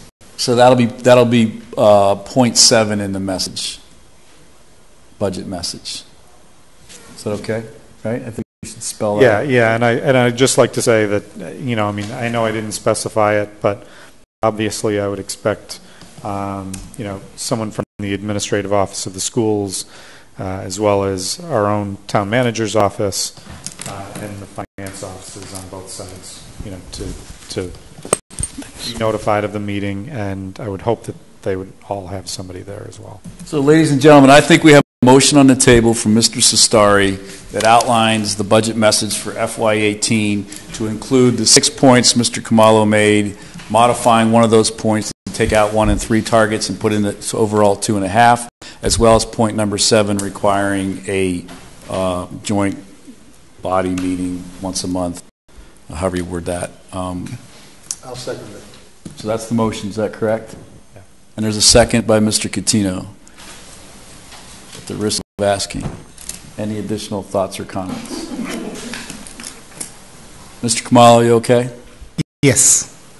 That was a very healthy debate. Thank you for your input. Anybody over here? Yeah. Everybody good? You guys good? Chris? Okay. All those in favor? Aye. Any opposed? Okay. Thank you all very much. I was going to maybe ask for, for them to vote on it as well. It's in the message. Uh, Can we hang on for one sec? So does the school committee, do you guys vote budget message at all? Mr. Cas- Mr. Cestari is asking. You guys would indulge us in, uh, in voting to endorse the message. Is voting to endorse your budget? Can we add that to our agenda Oh, I was thinking now, but if you're uncomfortable because it has, wasn't posted on an agenda, then I understand that. Well, I mean, we posted that we were having a budget session, so I'm sure we can do a motion to. I would think if if you're comfortable doing it, you, All right, technically you could do it now. At this time, I would seek a motion from committee members. where is the budget message? Second.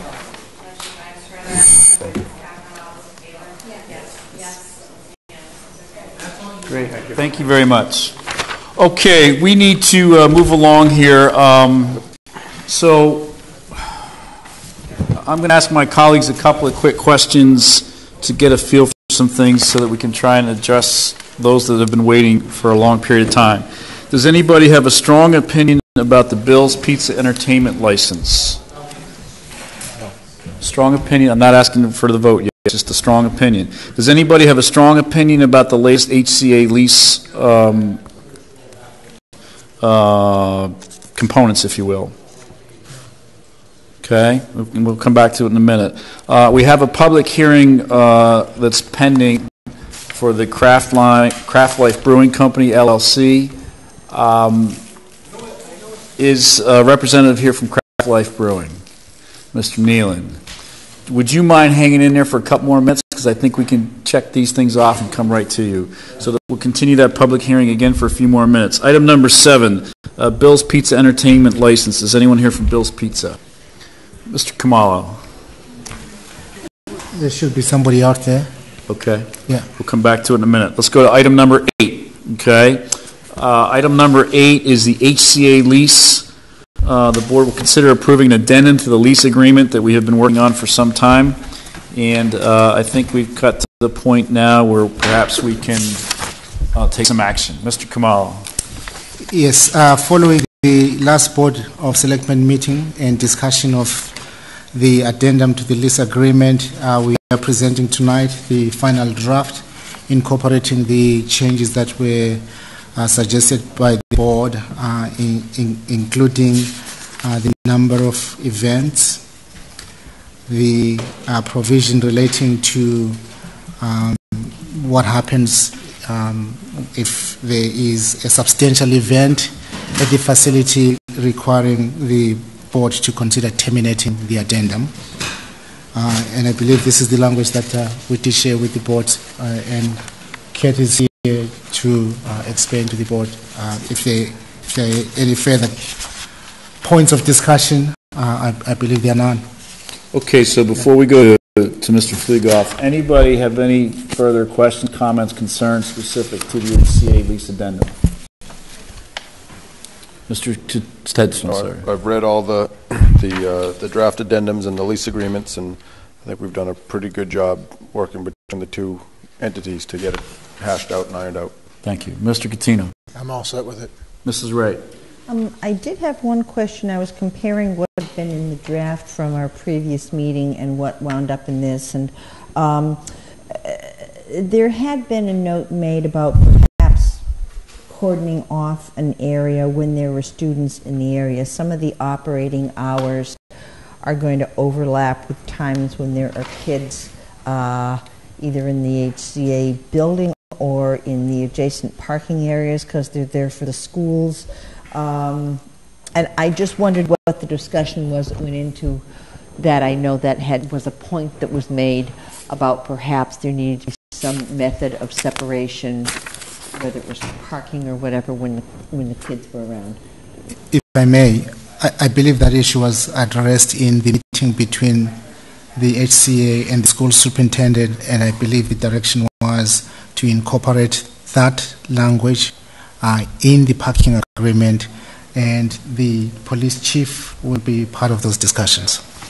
And that parking agreement between the school, the schools and the HCA? Correct. So if I understand correctly, what you're saying there is that it will not be written into the language of the lease agreement, but there will be a change made in the other document to address that. I believe so. Kurt, you agree with that? That's my understanding, yes. Okay. Anything else? No. Mr. Cestari. Um, I don't have any questions. I'm just, uh, yeah, happy everybody kind of hung in there and, and we got here. It's for the good of everyone. Mr. Kamal, you have anything else to add? Nothing to add at this point. Mr. Fleegoff. Sometimes it's best to be quiet, thank you. Yes, it is. Thank you. Uh, So you're going to sign? Yes. Great. Uh, And your board, you're all good Well, there? We will, it's not an issue, they haven't voted yet, but we will get the vote and we will. Okay. Okay. Kelly, you guys are good? Okay. All right, Mr. I'll make a motion to approve the addendum to the lease agreement between the town of Hopkinton and the Hopkinton Center of the Arts for the lease of real property located at 98 Hayden Rowe. The amendment would clarify the independent event rentals and or sale or distribution of alcohol at the facility. Second that. We have a motion and a second. Mr. Kamal, you good with the motion? Yes. Kurt, you good with the motion? Okay. Any questions or comments on the motion? All those in favor? Aye. Any opposed? There we go. Mother would be Excellent. happy. Thank you. Thank you all. Have a great night. Thanks for hanging in there tonight. Okay, we're going to come back to uh, Bill's Pizza Entertainment License. Um, Do we have a representative here from Bill's? No one is here. Um, I think based on the comments provided, uh, there were no objections from town staff relative to the specific application before the board. However, there was a suggestion from the building uh, inspector, uh, supported by the land use uh, and operations director, that the applicant seek a special permit from the zoning board of appeals for this use. So Elaine, that's you, correct? And why are you suggesting that? Uh, In this zoning district, the downtown business district, live commercial entertainment requires a special permit from the Board of Appeals. So a license that you issue should be contingent upon receiving that special permit. Okay, so you're okay with us pass, approving it with the, with the approval of the ZBA as well? That's correct. So they have to go apply to the ZBA. Um, And have you talked to the applicant ba- about that at all? Yes. Are they okay with that? They're aware of it. I'm sorry? They're aware of it. Okay. All righty. Uh, So we're on the Bill's Entertainment license. Mrs. Wright? Um, One question, there was a comment by the fire department about maintaining the um, occupancy compliance, and I wondered, do you, does anybody know, Jane or Norman, if, um, like this room, for instance, there are four occupancy certificates up there because each section has a certain amount of um, capacity. I, you know, in the area where you'd have entertainment, you might end up having standing people as well. H- How, Chief is here, he can answer. How are you going to measure? I mean, you've got the occupancy for the entire room, but you could have, you know, a bunch of people standing and over capacity in that area. How's that going to be measured? The uh, the building inspector will have the plans. He'll also be uh, reviewing the usage. When you start to hear words like entertainment, just, everybody needs to raise their flag a little bit, especially in a building that's unprotected, that you're just looking for those cues. If, if the entertainment got to the point where in the um, Mass General laws, it talks about like as you get to a discotheque and you kept hearing impaired things, so you don't hear maybe fire protection, evacuation issues, and they trigger things like having a crowd manager. They're all simple things, you just need to be aware of that, you know, they're okay from what I could see, but you're looking for those keys. The building inspector is the one that would catch that, and I think the zoning would even review that some. But, but my question is, this is going to be only in the, what, bar area, right? And um, so as we have separate areas up there on that permit, um, is there going to be an occupancy limit for that area? Because suppose you had, you could have an occupancy limit for like, I don't know, 130 for the whole building, but on one day of an event, you have, you know, 80 people all crammed into that room, standing, and it's really max, more than safe for that area. Are they going to have their own occupancy for that area? It would be a, a comment for the building inspector again. It, it wouldn't change the occupancy of the building. He would look for any changes in table layout. And, and I'm giving you some of the triggers that I saw when the entertainment piece that they're talking about, when you get to live entertainment, those are things that the, the, it- it's under the building inspector now. And I'm just helping you with some of the pieces I saw that are cues. Chief, does the building, the uh, occupancy permit in that building, does the one occupancy permit encompass the whole entire building, or is there a bar occupancy permit, That's a what I was- restaurant that's what occupancy I'm permit, or, I think it's, I It's a- don't hear this for, but. It's a fair question, and I, I don't review that, and I didn't review it, so I'm not All right, so exactly we- sure. He, he would be looking for that, and he's going to be very um, concerned on any change of usage. So again, when you just start to say the word live entertainment, everybody should be really doing some due diligence. So I, that was my So comment. would that come up, would that likely come up, Mrs. Lazarus, in a ZBA review process? It would come up. Okay. So to clarify, what you were saying is because this is now a change of use, this is a new kind of a use, they will be reviewing the occupancy and perhaps issue new occupancy permits based on how it's going to be used in what areas? Yeah, They'll probably, yeah, they'll probably ask several detailed questions to make sure it doesn't get them into an area where it would require something like a crowd manager Right. or other safety figures. And then I don't know, you kind of got to let the story play out. Okay. But again, I think we have to keep in mind that they're, that they're asking for, for a trivia game.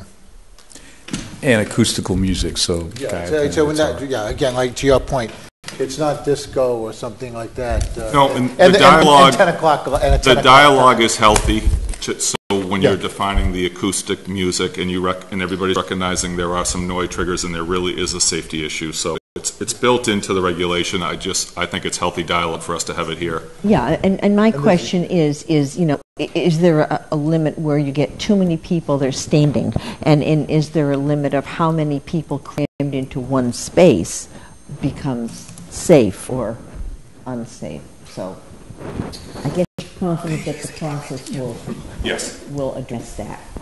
So the chair will entertain a motion to approve the entertainment license for N Serres Corp. doing business as Bill's Pizza, 14 Main Street, Hopkinton, Mass. for trivia, other types of games, and acoustic music. The approval of this application is contingent upon the zoning board of appeals uh, conducting uh, their due diligence in a hearing to approve as well. So moved. Second. You okay with that motion, Mrs. Lazarus? Any further discussion? All those in favor? Aye. Aye. Any opposed? Okay, thank you. Uh, So now we move to item number nine, the Craftlife Brewing Company LLC, doing business as Startline Brewing Company, uh, looking for a farmer brewer pouring permit. Gentlemen, uh, I apologize for keeping you so long. Uh, Budget discussions tend to do that sometimes. Uh, We're taking tests. So with that, um, uh, welcome. We'll continue the public hearing now that we opened up earlier this evening. The process for a public hearing is, uh, we typically go to the town manager, who perhaps will introduce the topic. Uh, Then we'll go to the applicant, who will give us some information and put uh, from their perspective on the topic. And then we'll come to the board for some initial questions and clarifying questions about the topic. Then we'll go to abutters and see if there are any abutters here that would like to comment. Uh, Then we'll go to the general public and see if there are any, anyone here from the general public that would like to comment, because it is a public hearing. And then we will vote to close the public hearing, if that happens tonight. Uh, And then we'll uh, deliberate and see where we take uh, the issue. Does everybody understand the process? Everybody agree to the process? Okay. So with that, Mr. Kamal. Thank you, Mr. Chair. Um, in in local government, it's it's it's always preached that being the first to do something is never encouraged. Uh, I want to mention to the board that uh, the application before the board tonight uh, is the first of its kind uh, in in the town. Um, this is an application that is actually taking advantage of a law that was passed by Governor Baker August 16th this year, um, allowing uh, uh, wineries, uh, farmer wineries or farmer breweries uh, to apply for pouring licenses. Uh, and we have had extensive discussions with the applicant, uh, trying to better understand the application process to begin with, all of us making phone calls to the ABCC and to town counsel, uh, as well as uh, uh, town staff familiarizing themselves with the, uh, the, the setup for this operation uh, at uh, um, Waterfresh Farm. And without, without, without, without, without further ado, perhaps through the chair, in terms of process, um, because of the extensive uh, discussions we're having with the applicant, what I might suggest for tonight is for the applicant to simply introduce the topic, their operation, and take some preliminary questions from the board. Um, based on where we are now, there are many issues that we're exploring collaboratively together uh, uh, in terms of finding the appropriate answers for.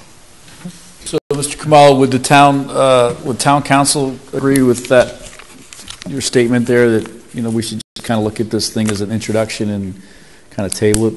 That's what I'm hearing anyway. That's that's my recommendation. Um, the the the the board still has the option to uh, take action tonight. Um, in in my mind, that can only happen if the applicant does not grant the board the extension that is required uh, for this conversation to continue. We have a meeting on November 1st. I think the drop dead date for a decision is November 10th. Yes. As it stands today, but we can get an extension. Without, no, without, I mean, one could wait till November 1st and then get the extension if it's not going to happen. Okay. All right. Uh, you good? I'm good. Mr. Neal. Mr. Chairman, thank you. This is right, gentlemen. For the record, Tom Neal, and representing Craft Brewery Company, uh, doing business as uh, Start Line Brewing Company. And I'd like to introduce Ted Twinney, the, uh, one of the owners of uh, Startline and the manager of the brewery.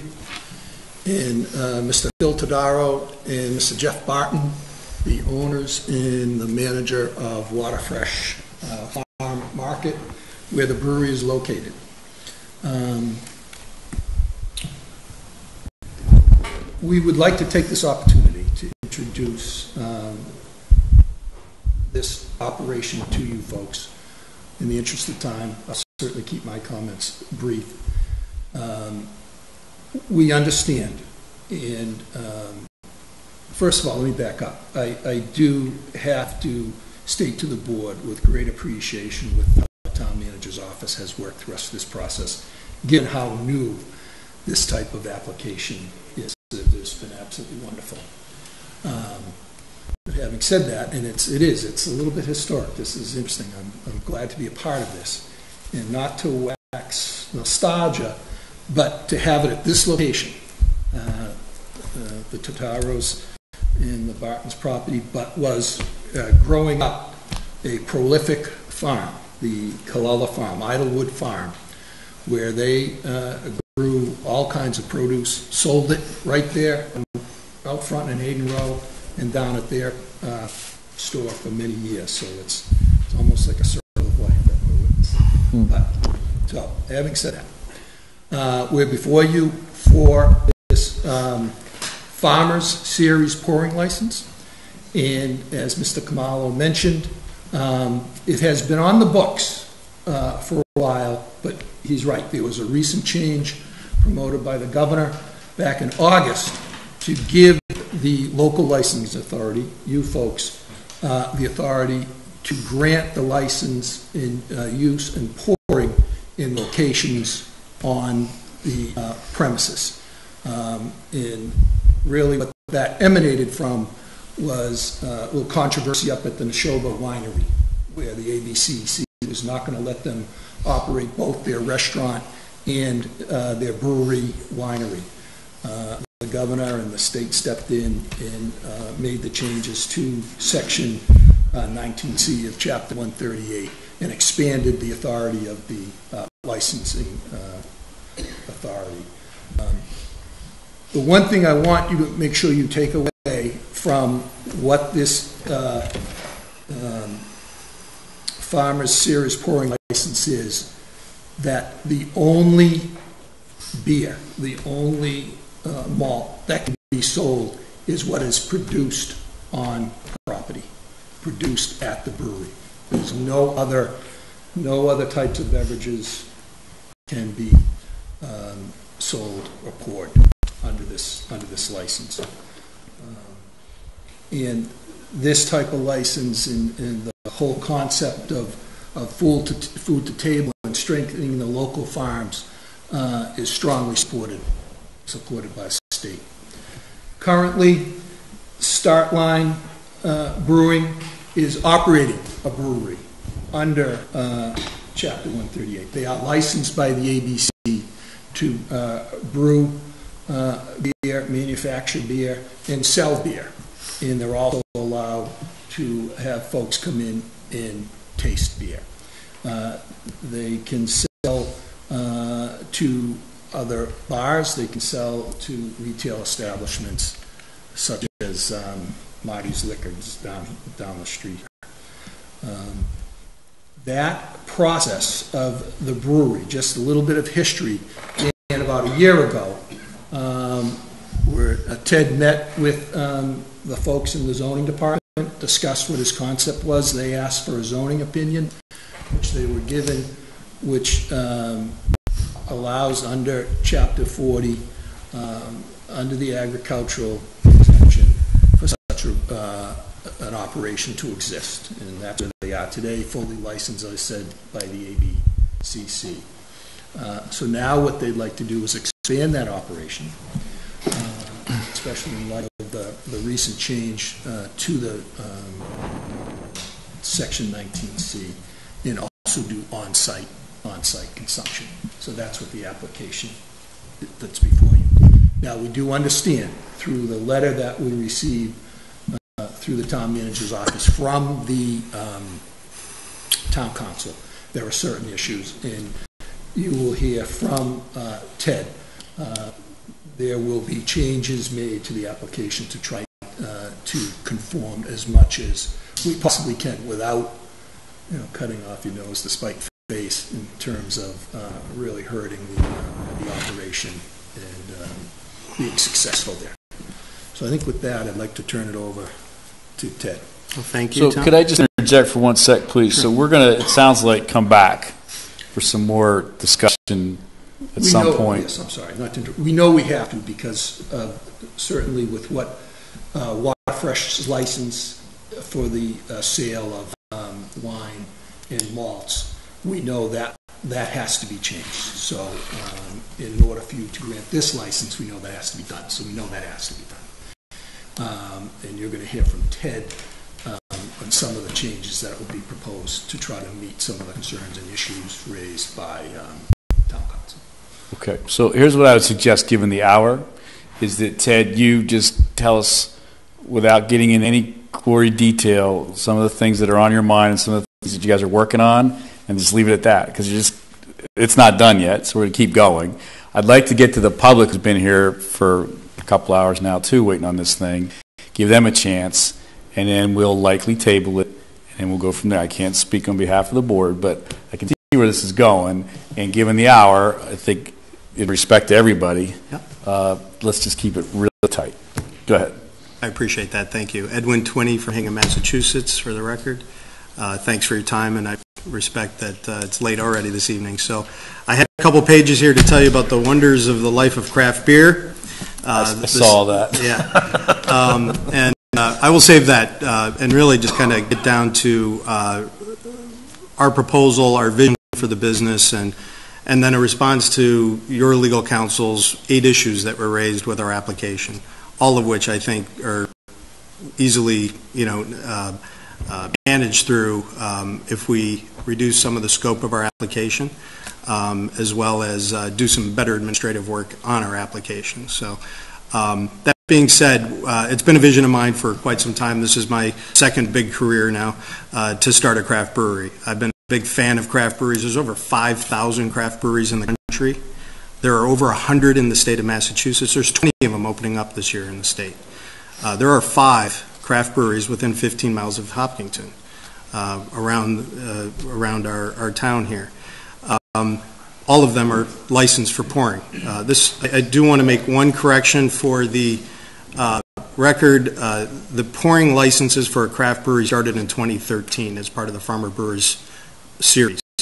In August of this year, it was expanded even further in terms of the definition of adjacent uh, land on the farm and what the definition of on-premise is. So there has been some change to it, expanding it further. Um, so this isn't, uh, this is first for Hopkinton, certainly. Uh, certainly my first brewery as well. Uh, but uh, the concept of uh, local town uh, selectmen having an opportunity to uh, approve a pouring license has been in place for some time.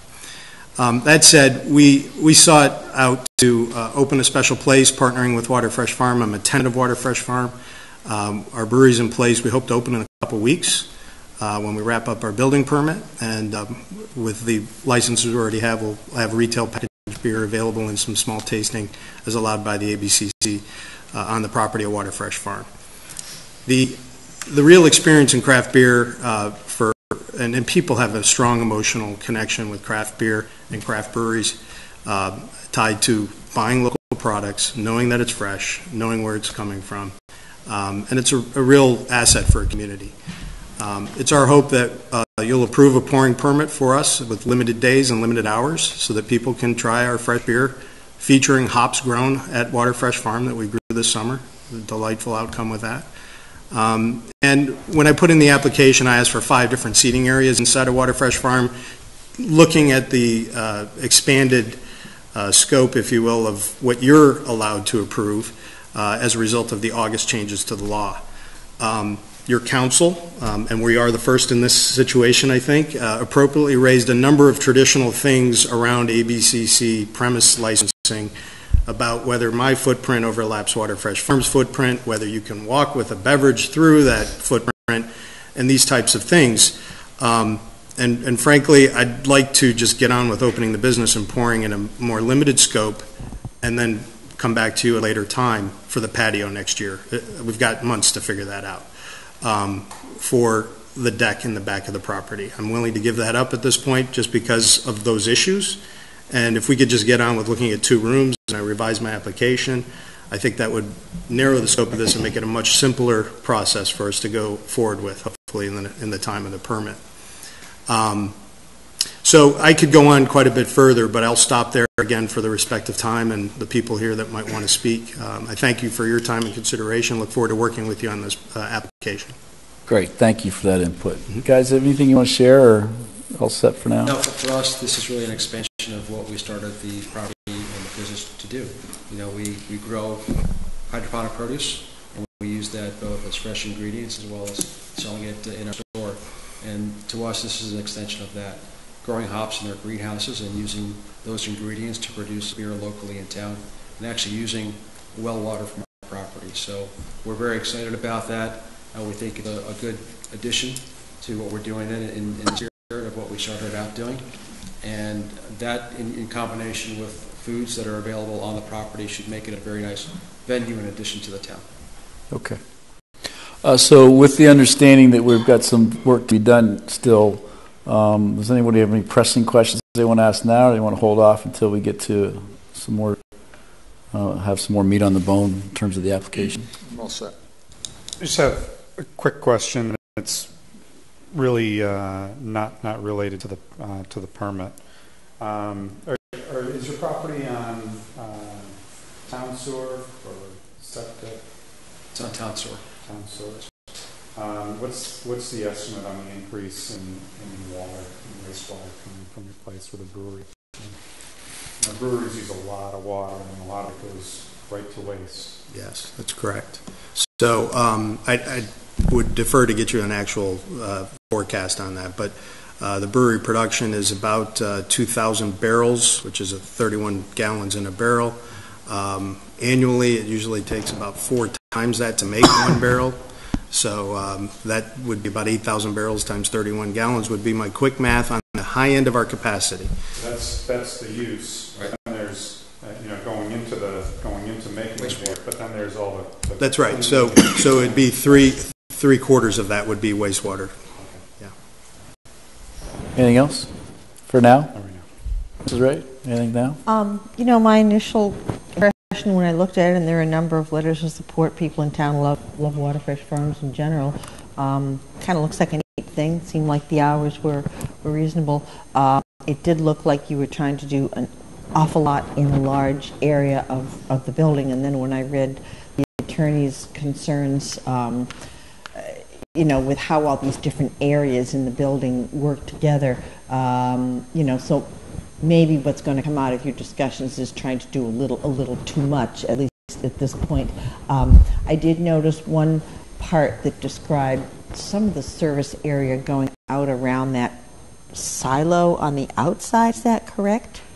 Um, um, I, used to be the silo was an ice cream stand. Is that still the case? And I don't quite understand how this is all going to fit together. But that you know immediately caught my eye as the ice cream stand being a children's, kid-friendly, family-friendly area, and I just wondered, you know, the appropriateness of of expanding this kind of service in that particular area. And if you end up, after discussions with, you know, town counsel deciding we need to scale things back, um, you know, I was sensitive to that silo area as whether this is an appropriate place. Okay. Anything else? No, for now. All good? Yeah, I was, I was also glad to see it scale back a little bit initially because, um, uh, you know, I'm also a fan of craft beer. and I uh, go to Jack's Abbey and just seeing how crowded they got, you know, it, it's, I'm one of those people who wait in line to, to get a get a spot to just sit down. And one of the things that just hit me was that that here's a, a you know nice farm stand area and everything else, and then all of a sudden, I was, all I was thinking about was is cars waiting in line to try and turn in, and that, that's a great thing for a business, but a, probably a bad thing for a neighborhood. So when I heard you pare it back, I said, okay, that's uh, that's a little bit better. If I could speak, um, the, um, the two rooms that we'd be looking at would be the uh, tap room that we have right now, a tasting room that is under development um, and is kind of ready to go when we open, and another 250 square feet of space right outside that area. It's all attached and adjacent and visible from the serving area. Um, So we're down to 800 square feet of the entire 3,000 square foot uh, building that would be uh, what we'd consider on premise, um, using that language. Okay. Uh, so uh, with that, and sort of trying to give everybody an opportunity here, are there any abutters here this evening that would like to say hello and share opinions or concerns with the board? Mr. Sansonetti. Good evening. My name is Patrick Sansonetti. I'm an abutter at 154 Hayden Rowe Street, basically directly across from Waterfresh Farm. Um, I've written a letter to the board. Hopefully you've received that, so I'll be super brief because already read the letter, perhaps. Um, I'm in support of what uh, Mr. Twinney and Waterfresh Farm are doing. Um, it's not about the beer. It's about a local beer, a local business with high character, unique to this town, unique to this area, inside of an already high character, local, unique business. So I like the combination of that. I like what it brings to Hopkinton. I'm very much in support of what seems to be a very reasonable and limited use of that facility for pouring beer. Um, so again, as an abutter, again, to be brief, I'm in support of that. Great. Thank you. Thank you very much. Any other abutters here this evening want to comment? To be noted about Mr. Sansonetti is he's kind of the major abutter. He owns, from what I understand, three of the properties right there. So that kind of speaks a little, some volume there where he's kind of the main abutter and he's in favor for it. I think Mm. that, uh, that's, that's a feather in their cap. Okay. Uh, any other abutters here this evening? Okay. Anyone from the general public here this evening? Anyone from Hopkinton? Just share your name and address, please. Uh, John Spinelli, live at 42 Alexander Road uh, in Charlesview, and um, didn't prepare anything. I couldn't have really said it much better than Patrick already has. But uh, I've been in town almost four years and been shopping at Waterfresh. I think it was the first place in town we stopped uh, when my family and I moved in a couple years ago. And I met Jeff on the first day, and we've been, I would consider him a friend, and we've, uh, my family and I have shopped there. We go there almost every weekend for breakfast. It's just a fantastic place. I've lived all over the country, and I got to tell you, it's one of the neatest places I've ever been. And uh, I think that this is a great opportunity for the town. There's not too many things I would stand up for and stick my neck out for, but for Jeff and his business partners and for this brewing company, I think it's an awesome opportunity. Should seriously consider this. And I live in probably the largest neighborhood closest to Waterfresh. We walk there all the time. And uh, I've spoken to several of my friends that live in the community. A couple of them are here tonight with me. And um, there's been positive, positive feedback from the people that I'm friendly with and uh, that I associate with in town. And uh, I actually don't think I've heard one negative comment. Um, so, in support of that, I just wanted to come up and uh, say I, I strongly support the brewing company. I strongly support Waterfresh, and I hope you take that under advisement. Great. Thank you. Anyone else here like to offer any comments? Hi. Patrick Ross, to John Matthew Road. I uh, thank you for letting me speak. Uh, I've been a resident for a little over three years now. Great neighborhood. Um, And uh, again, the previous speakers have have kind of nailed it right on the head. Um, uh, Craft beer is a passion for me. It's, we are in the golden age of craft beer. Uh, 30, 40, 50 years ago, I couldn't even imagine being my age because of what was available. And Ted nailed it. There are 5,000 breweries now. There's going to be more. Uh, when I first moved into Hopkinton, there was Jack's Abbey, and there was a few other breweries that were maybe underway, and there are five or six more in towns adjacent to Hopkinton. Uh, it's either craft beer or nothing for me. So, uh, and, and meeting the staff at Waterfresh, I, I went and talked to, talked to Ted. He could have very easily said, yeah, we're fine, but he took the time. He didn't know me from a hole in the wall and just took the time, time that was very valuable for him, and we've met on a couple of occasions. So, uh, as speaks to his character, and uh, I think the opportunity for Hopkinton. Uh, Brendan, you mentioned the marathon putting Hopkinton on the map. John, you mentioned Jack's Abbey. You live in Hopkinton and you're going to Framingham, which is now Exhibit A, another brewery. So, in terms of you know other other discussions tonight, school, you know, taxes, we want to bring money to the town. This is going to help do that, I think. So, uh, thank you for your time, and I fully support this application. Great. Thank you. Thank you. Anybody else?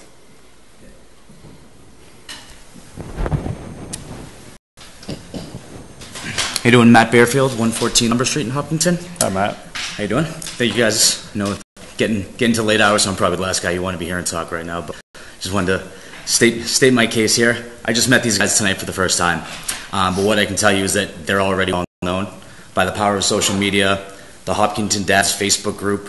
You know, it's the it, we go on there. Does anybody know a good electrician? Does anybody know this? When we found out about the Startline Brewery, brewery opening up, it, it was like all the rage. When's opening? When can we go? Let's meet there. Let's have, do some dad's night out. Go there, you know, then pick up some growlers, go to somebody's house, hang out, have a fire, things like that. So the, you know, there's only a few of us here tonight, but within the 80 to 90 or 100 members of the, face, the Facebook dad group, everybody's in support, and you know, we like to think that we're kind of the voice of, of the dads who need nights out from time to time. And this is, uh, you know, this is a great place to go.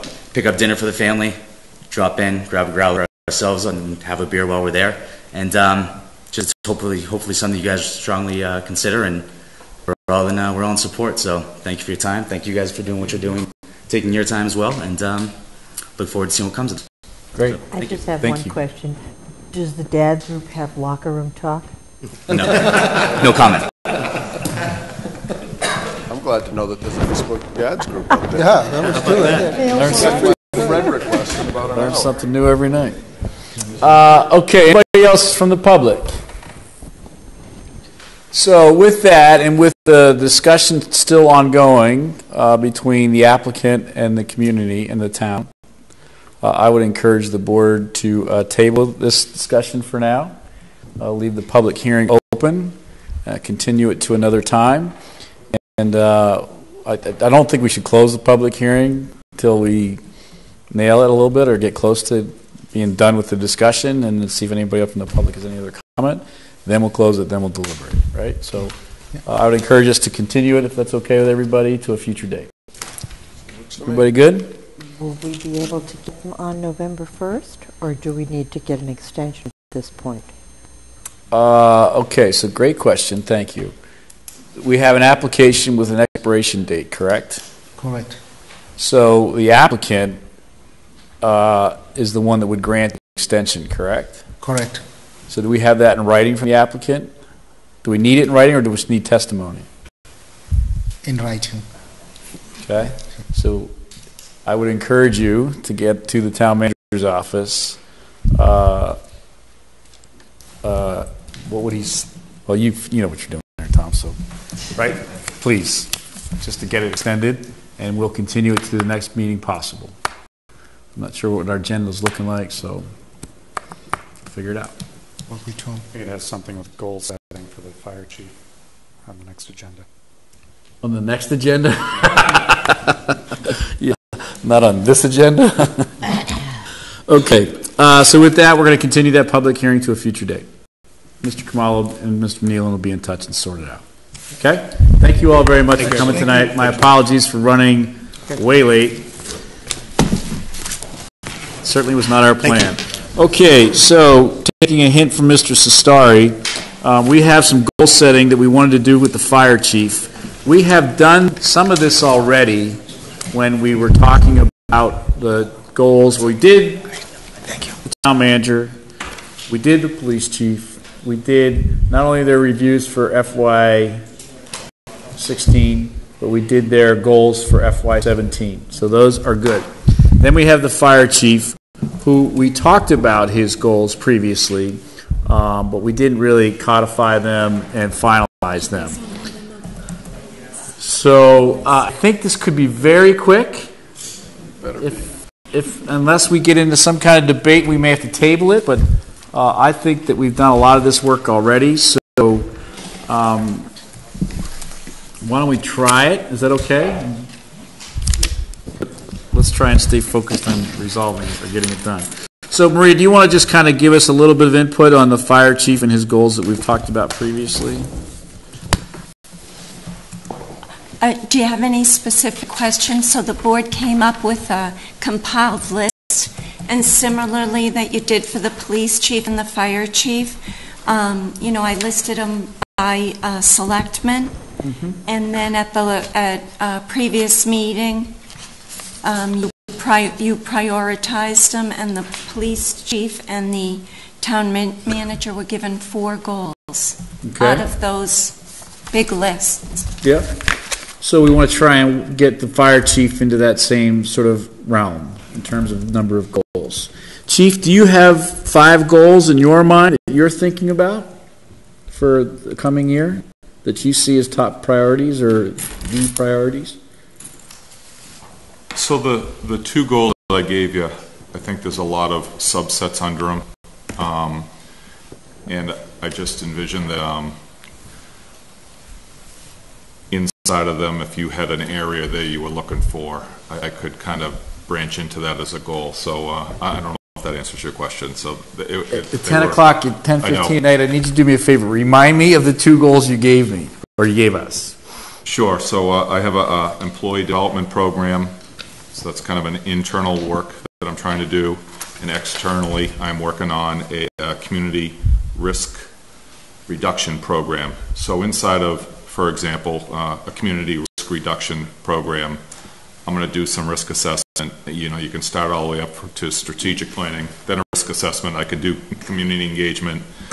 The, the, the biggest piece of that, which helps me see the whole picture going into my next year, is kind of that um, risk analysis of the town. So I've organized some training that I'm doing through FEMA. I've had some background training already.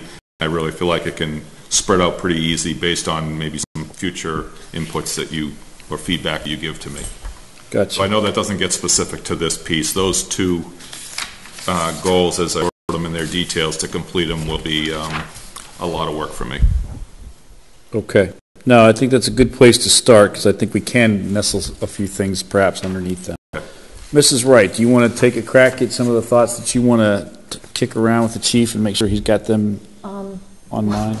Well, actually, it's kind of in line with what he and I talked about and I put down, so works for me. So you are good with those two? Yeah, no, makes sense to me. Okay. Mr. Coutinho? Well, considering I, I keep using the chief as examples for the goals for other departments, it's, uh, I'm definitely good with it. As a matter of fact, uh, the chief is already working on, on his community risk assessment. He met with Zach uh, last week outlining changes that, that he'd like uh, zoning to do to make uh, um, houses and uh, residences a lot safer. Okay. Mr. Tedstone? No, I, I don't have a, I think that, uh, you know, obviously the, the employee development plan is big, and he's shown that, uh, that that's, that that's his, his MO is, you know, we've, we've, he's come before us twice since he's been chief with uh, new employees, and they both, um, you know, with, with officers, and they've both been promoted from within. So um, I think that's huge in the development, development plan, and I also think by having such a, a comprehensive and strong development plan, it contributes to the morale of the, uh, of the employees, where no one, uh, you know, I know all the employees down there, and they're not static employees. They're all working harder to better themselves, and um, you know, and that that example is fostered by from the top down. So um, that's where I, that's how I'm looking at it right now. Okay. Um, Mr. Cestari, we're just kind of, so the chief shared with us his two, the employee development plan and the community risk reduction program as the two primary things that he's focused on uh, along with his day job. Um, Do you have in your list or your input, you know, from previous meetings, do those fall into those two categories? Do you want to add something to those two? Well, I think, uh, you know, again, we mentioned it with the police chief as well, and, and really kind of moving toward the strategic, as well as the town manager, uh, coming together with more of a strategic plan uh, for the growth. And, you know, I mean, uh, the point, the point down here under my name, you know, it says something about, uh, and I know it wasn't intended this way, but fire stations evaluation, build a fire station. Didn't say that. Given our earlier conversation. But- mechanical engineer, he could- build a fire station. But I, I do think that, I do think that uh, we're at a stage in our town's growth where we need to be looking out to that five and 10-year horizon and starting to plan on, uh, you know, whether it's based on uh, the, the growth density in certain areas or the actual raw numbers of growth. You know, when, you know, when do we think we need uh, more personnel? When do we think we need another building? Where does the building need to be? You know, all of that type of stuff. Um, That, that would all fall under this risk assessment. It- it- It's, it's the natural segue into all those pieces. So, so the two big takeoffs that would, you'd probably see the following year from me were, we'd evaluate whether, like, accreditation is a big deal across the country. There's a national accreditation program for fire. You, you have to have a strategic plan. You had to have done a risk analysis. You then base your decisions accreditation on that, that you, you've shown that you have fire stations in the proper locations with the proper response times and the amount of personnel and stuff. So it kind of, it, it's, this is the first step. I haven't gotten real strategic yet. I, I'm dying to, Yeah, but yeah. I'm just not there yet. This leads into, everything I see on yours, I'm confident will be on the radar in my first year. And then we would get into that final piece of a strategic plan that really branches out to everything identified, I would identify this year. So I think that, and um, you know, maybe one other goal of uh, having him uh, advocate for a flat department budget in the coming year. You know, we should be all set. I think we'll get to that at some point. Um, okay, you good? I, like the two that you've got here, Chief. I think they're fairly broad, and can, a lot will fall in underneath some of the things that I've talked about. I think would definitely fall in underneath. The one I would add, uh, I'd like to see us add anyway to, to give three, is I really want to do see what's going on with the, the, the ladder truck. Uh, very specifically, we got it. It's new. It's a new piece of apparatus for us. We've never had a ladder truck, as I understand it, in the past. So I just think that that investment, very well done, by the way, in terms of dollars. Um, I'd just like to see what we use it for, where it goes, why it goes. You know, just some metrics on that one particular item. You see it every day, just about. Do you? Does it come over a lot? I, it's, I get a lot from the community, short term, so it's a 30-day program right now, just because it's so unique, it's going to every call, just so each person can get thoroughly familiar with it. They've been thoroughly trained, but they need uh, wheel time and throw time with the Okay, stick. great. So that's why you're seeing it so much in the community. And that's fine. And, and that's, that's exactly the kind of stuff I'd like to see in some kind of documented fashion. uh, Because I do think it's a great asset for the community, and I'd like to see how we're using it, how we're learning about it, what it's done, how it's helped. Uh, I know particularly what they do. I've seen it, those things in action, uh, but I just would like to sort of study it a little bit. So that would be the third one that I'd put in there, if the board would be so inclined. Yep. Okay? Just a ladder truck uh, management plan and reporting process. Something. Are we adding the, uh, Mr. Cestari's uh, strategic plan also in there? So that would be four then. Well, I, I thought I that thought- that kind of fell under the uh, risk assessment. Yeah, that's what the chief was saying. That's fine. I think the only, the only piece I'd caution to you, because I did do a lot of work for strategic planning, and just that on itself, um, that may be a breakout into next year. I hope I'm not giving you a false sense that I'm going to land all of that this year. I, I won't. I think it's an ongoing thing. Okay, Yeah. good. Yeah, yeah. So I have employee development plan, community risk reduction program, include the strategic plan, and a ladder truck management plan and reporting document. Is it risk reduction or is it risk analysis, risk assessment? I think that The, the risk assessment will be a part of it, so there's two pieces there. I wouldn't get caught up on the word too bad. I just want to know what the truck's doing. I know, it seems like a nice request, but that doesn't seem like an annual goal kind of thing. It's not an annual goal, it's this year's goal.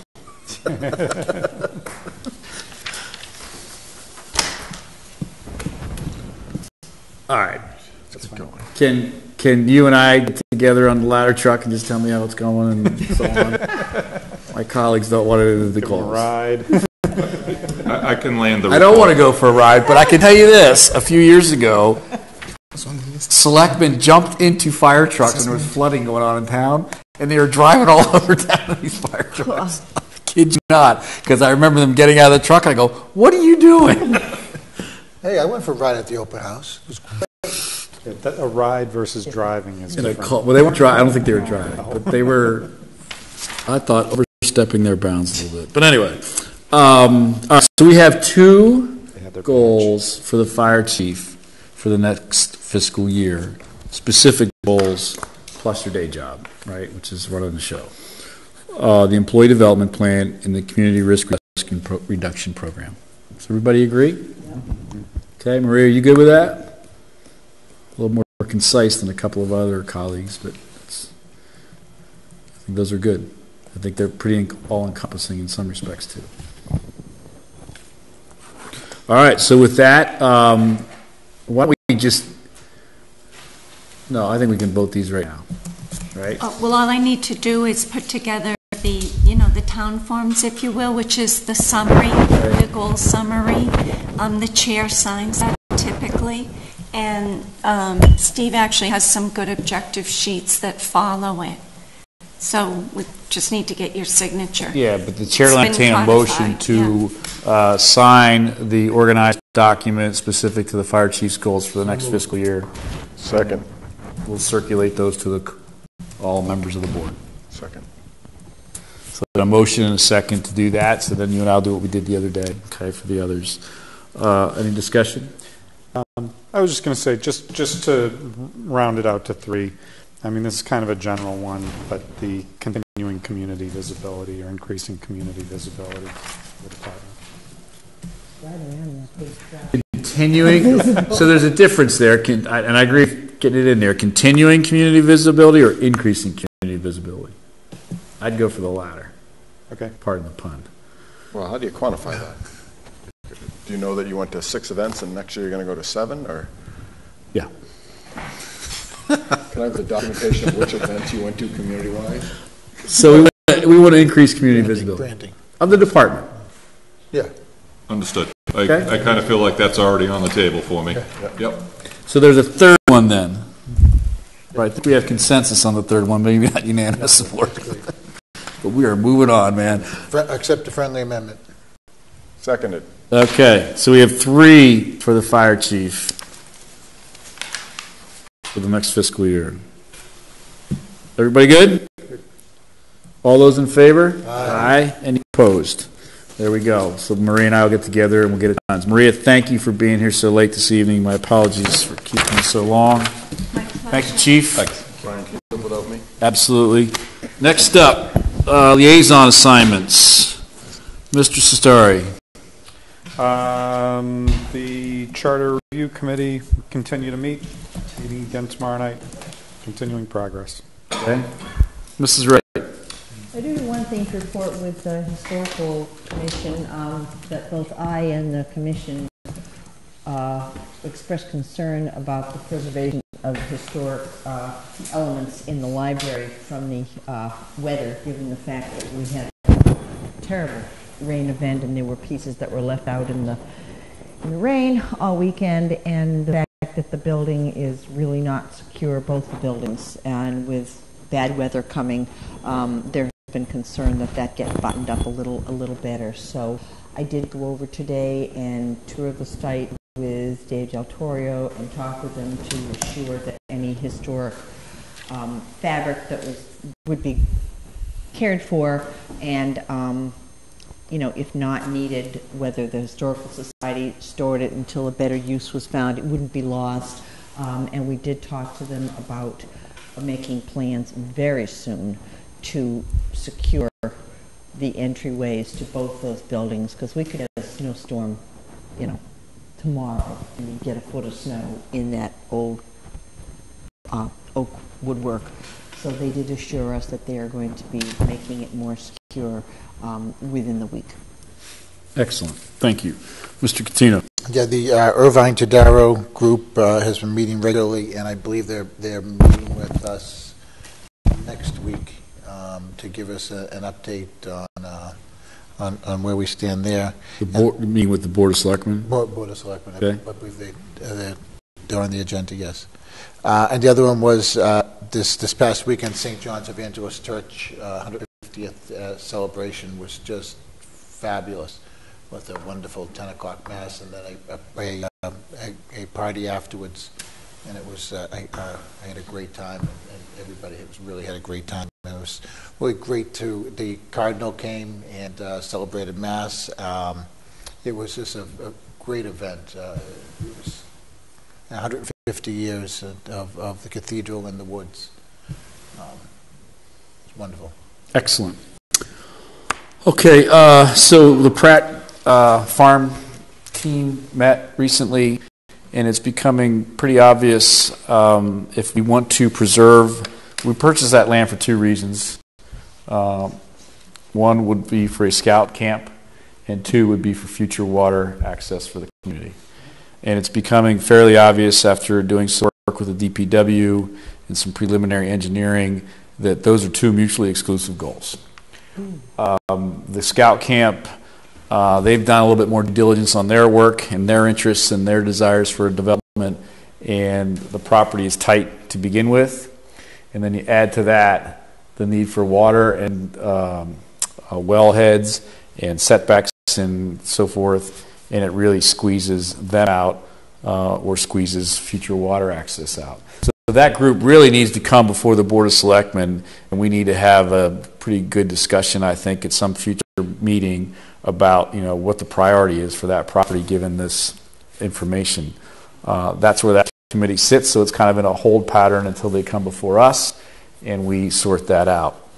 Um, in that last meeting, um, whether the scouts can come onto Pr- Pratt Street or not, uh, with or without water, uh, they're asking that perhaps maybe they should just kind of get out of this Pratt discussion and take a look at one of the parcels at Fruit Street. It's sort of sitting there idle at the moment, and maybe they could develop at Fruit Street, and we could do the water at Pratt, and everybody would be happy, or at least that's one way to think it through. So um, we have a little bit of a snafu with Pratt and the uses, and uh, we got to sort that out. So that's what's going on there. Uh, but let's discuss it when it comes before us, right? Um, I also attended as a liaison. Uh, the board voted recently to have me be the liaison to the school committee's uh, fields, athletic fields uh, subcommittee. uh, to the school committee. I'm not a voting member, just a liaison, basically like we are anywhere else, just watching and sort of listening and um, jumping in every now and then. Um, and they're just going through a process of looking at some engineering work that's going to be done and trying to figure out what makes the most sense. And they're not just looking at the field that got messed up this year. They're looking at all their fields and they're figuring out not only uh, what where maybe turf could possibly go, what kind of turf could possibly go, because there's new discussions about you know turf fields, as well as maintenance of those fields. So they're kind of taking a comprehensive look at the whole thing, and I'll keep you posted as that goes forward. Can I ask you a quick question? Sure. The, uh, the track that we redid, since it's, that, that we ended up making it smaller than a soccer field, would Yep. we be redoing the track? Uh, that would be one of many options that they could look at. They, no, no decision's been made. Um, so yeah, that's a possibility, but I, I don't know. Um, and that is it as far as my liaisons go.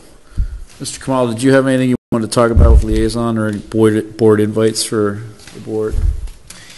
Board invi- invites for the board, sorry. If, if I may combine item 12B with board invites. There's an Sure. invitation from the Board of Selectmen in Holliston to meet with surrounding town boards of selectmen to discuss common issues, common solutions, and opportunities to regionalize or collaborate. Okay.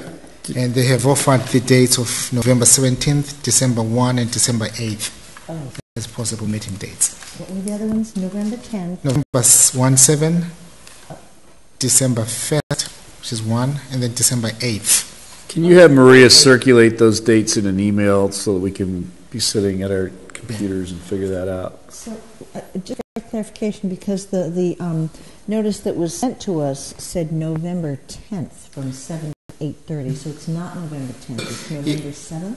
17th, 1, 7. 1, 7, but that's just, that's one of three possibilities. Yes, and December 1st and Or December 8th. 8th. Yes. Okay. Is it Thursdays? Yes, these are Thursdays. So they're wanting um, answers back from board members as to what date they would prefer if they attended? Yes, and in fact, I remember I removed November 10th because they already received a response from another town that that town could not make November 10th. Yeah, so that- if you'd have her circulate those dates, and let's see if we can all get back if we're interested in attending. Um, It'd be an interesting meeting. Am I hearing consensus that yes, the board would be interested?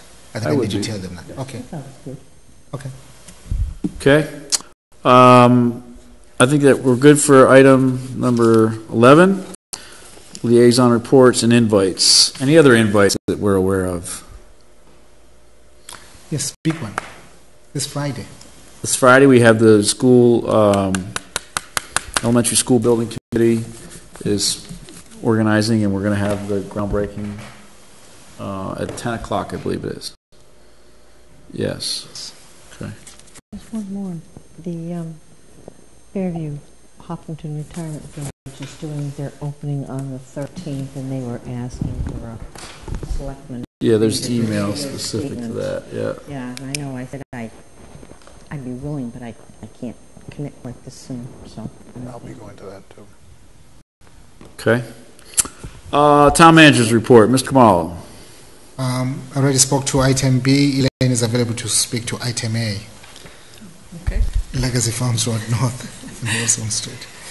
Uh, We have a letter from the planning board um, recommending a four-way stop at the new um, Legacy Rafferty Wilson Street intersection. The original traffic study that was submitted uh, with the project recommended a through road from Legacy North out Rafferty and stops on Wilson.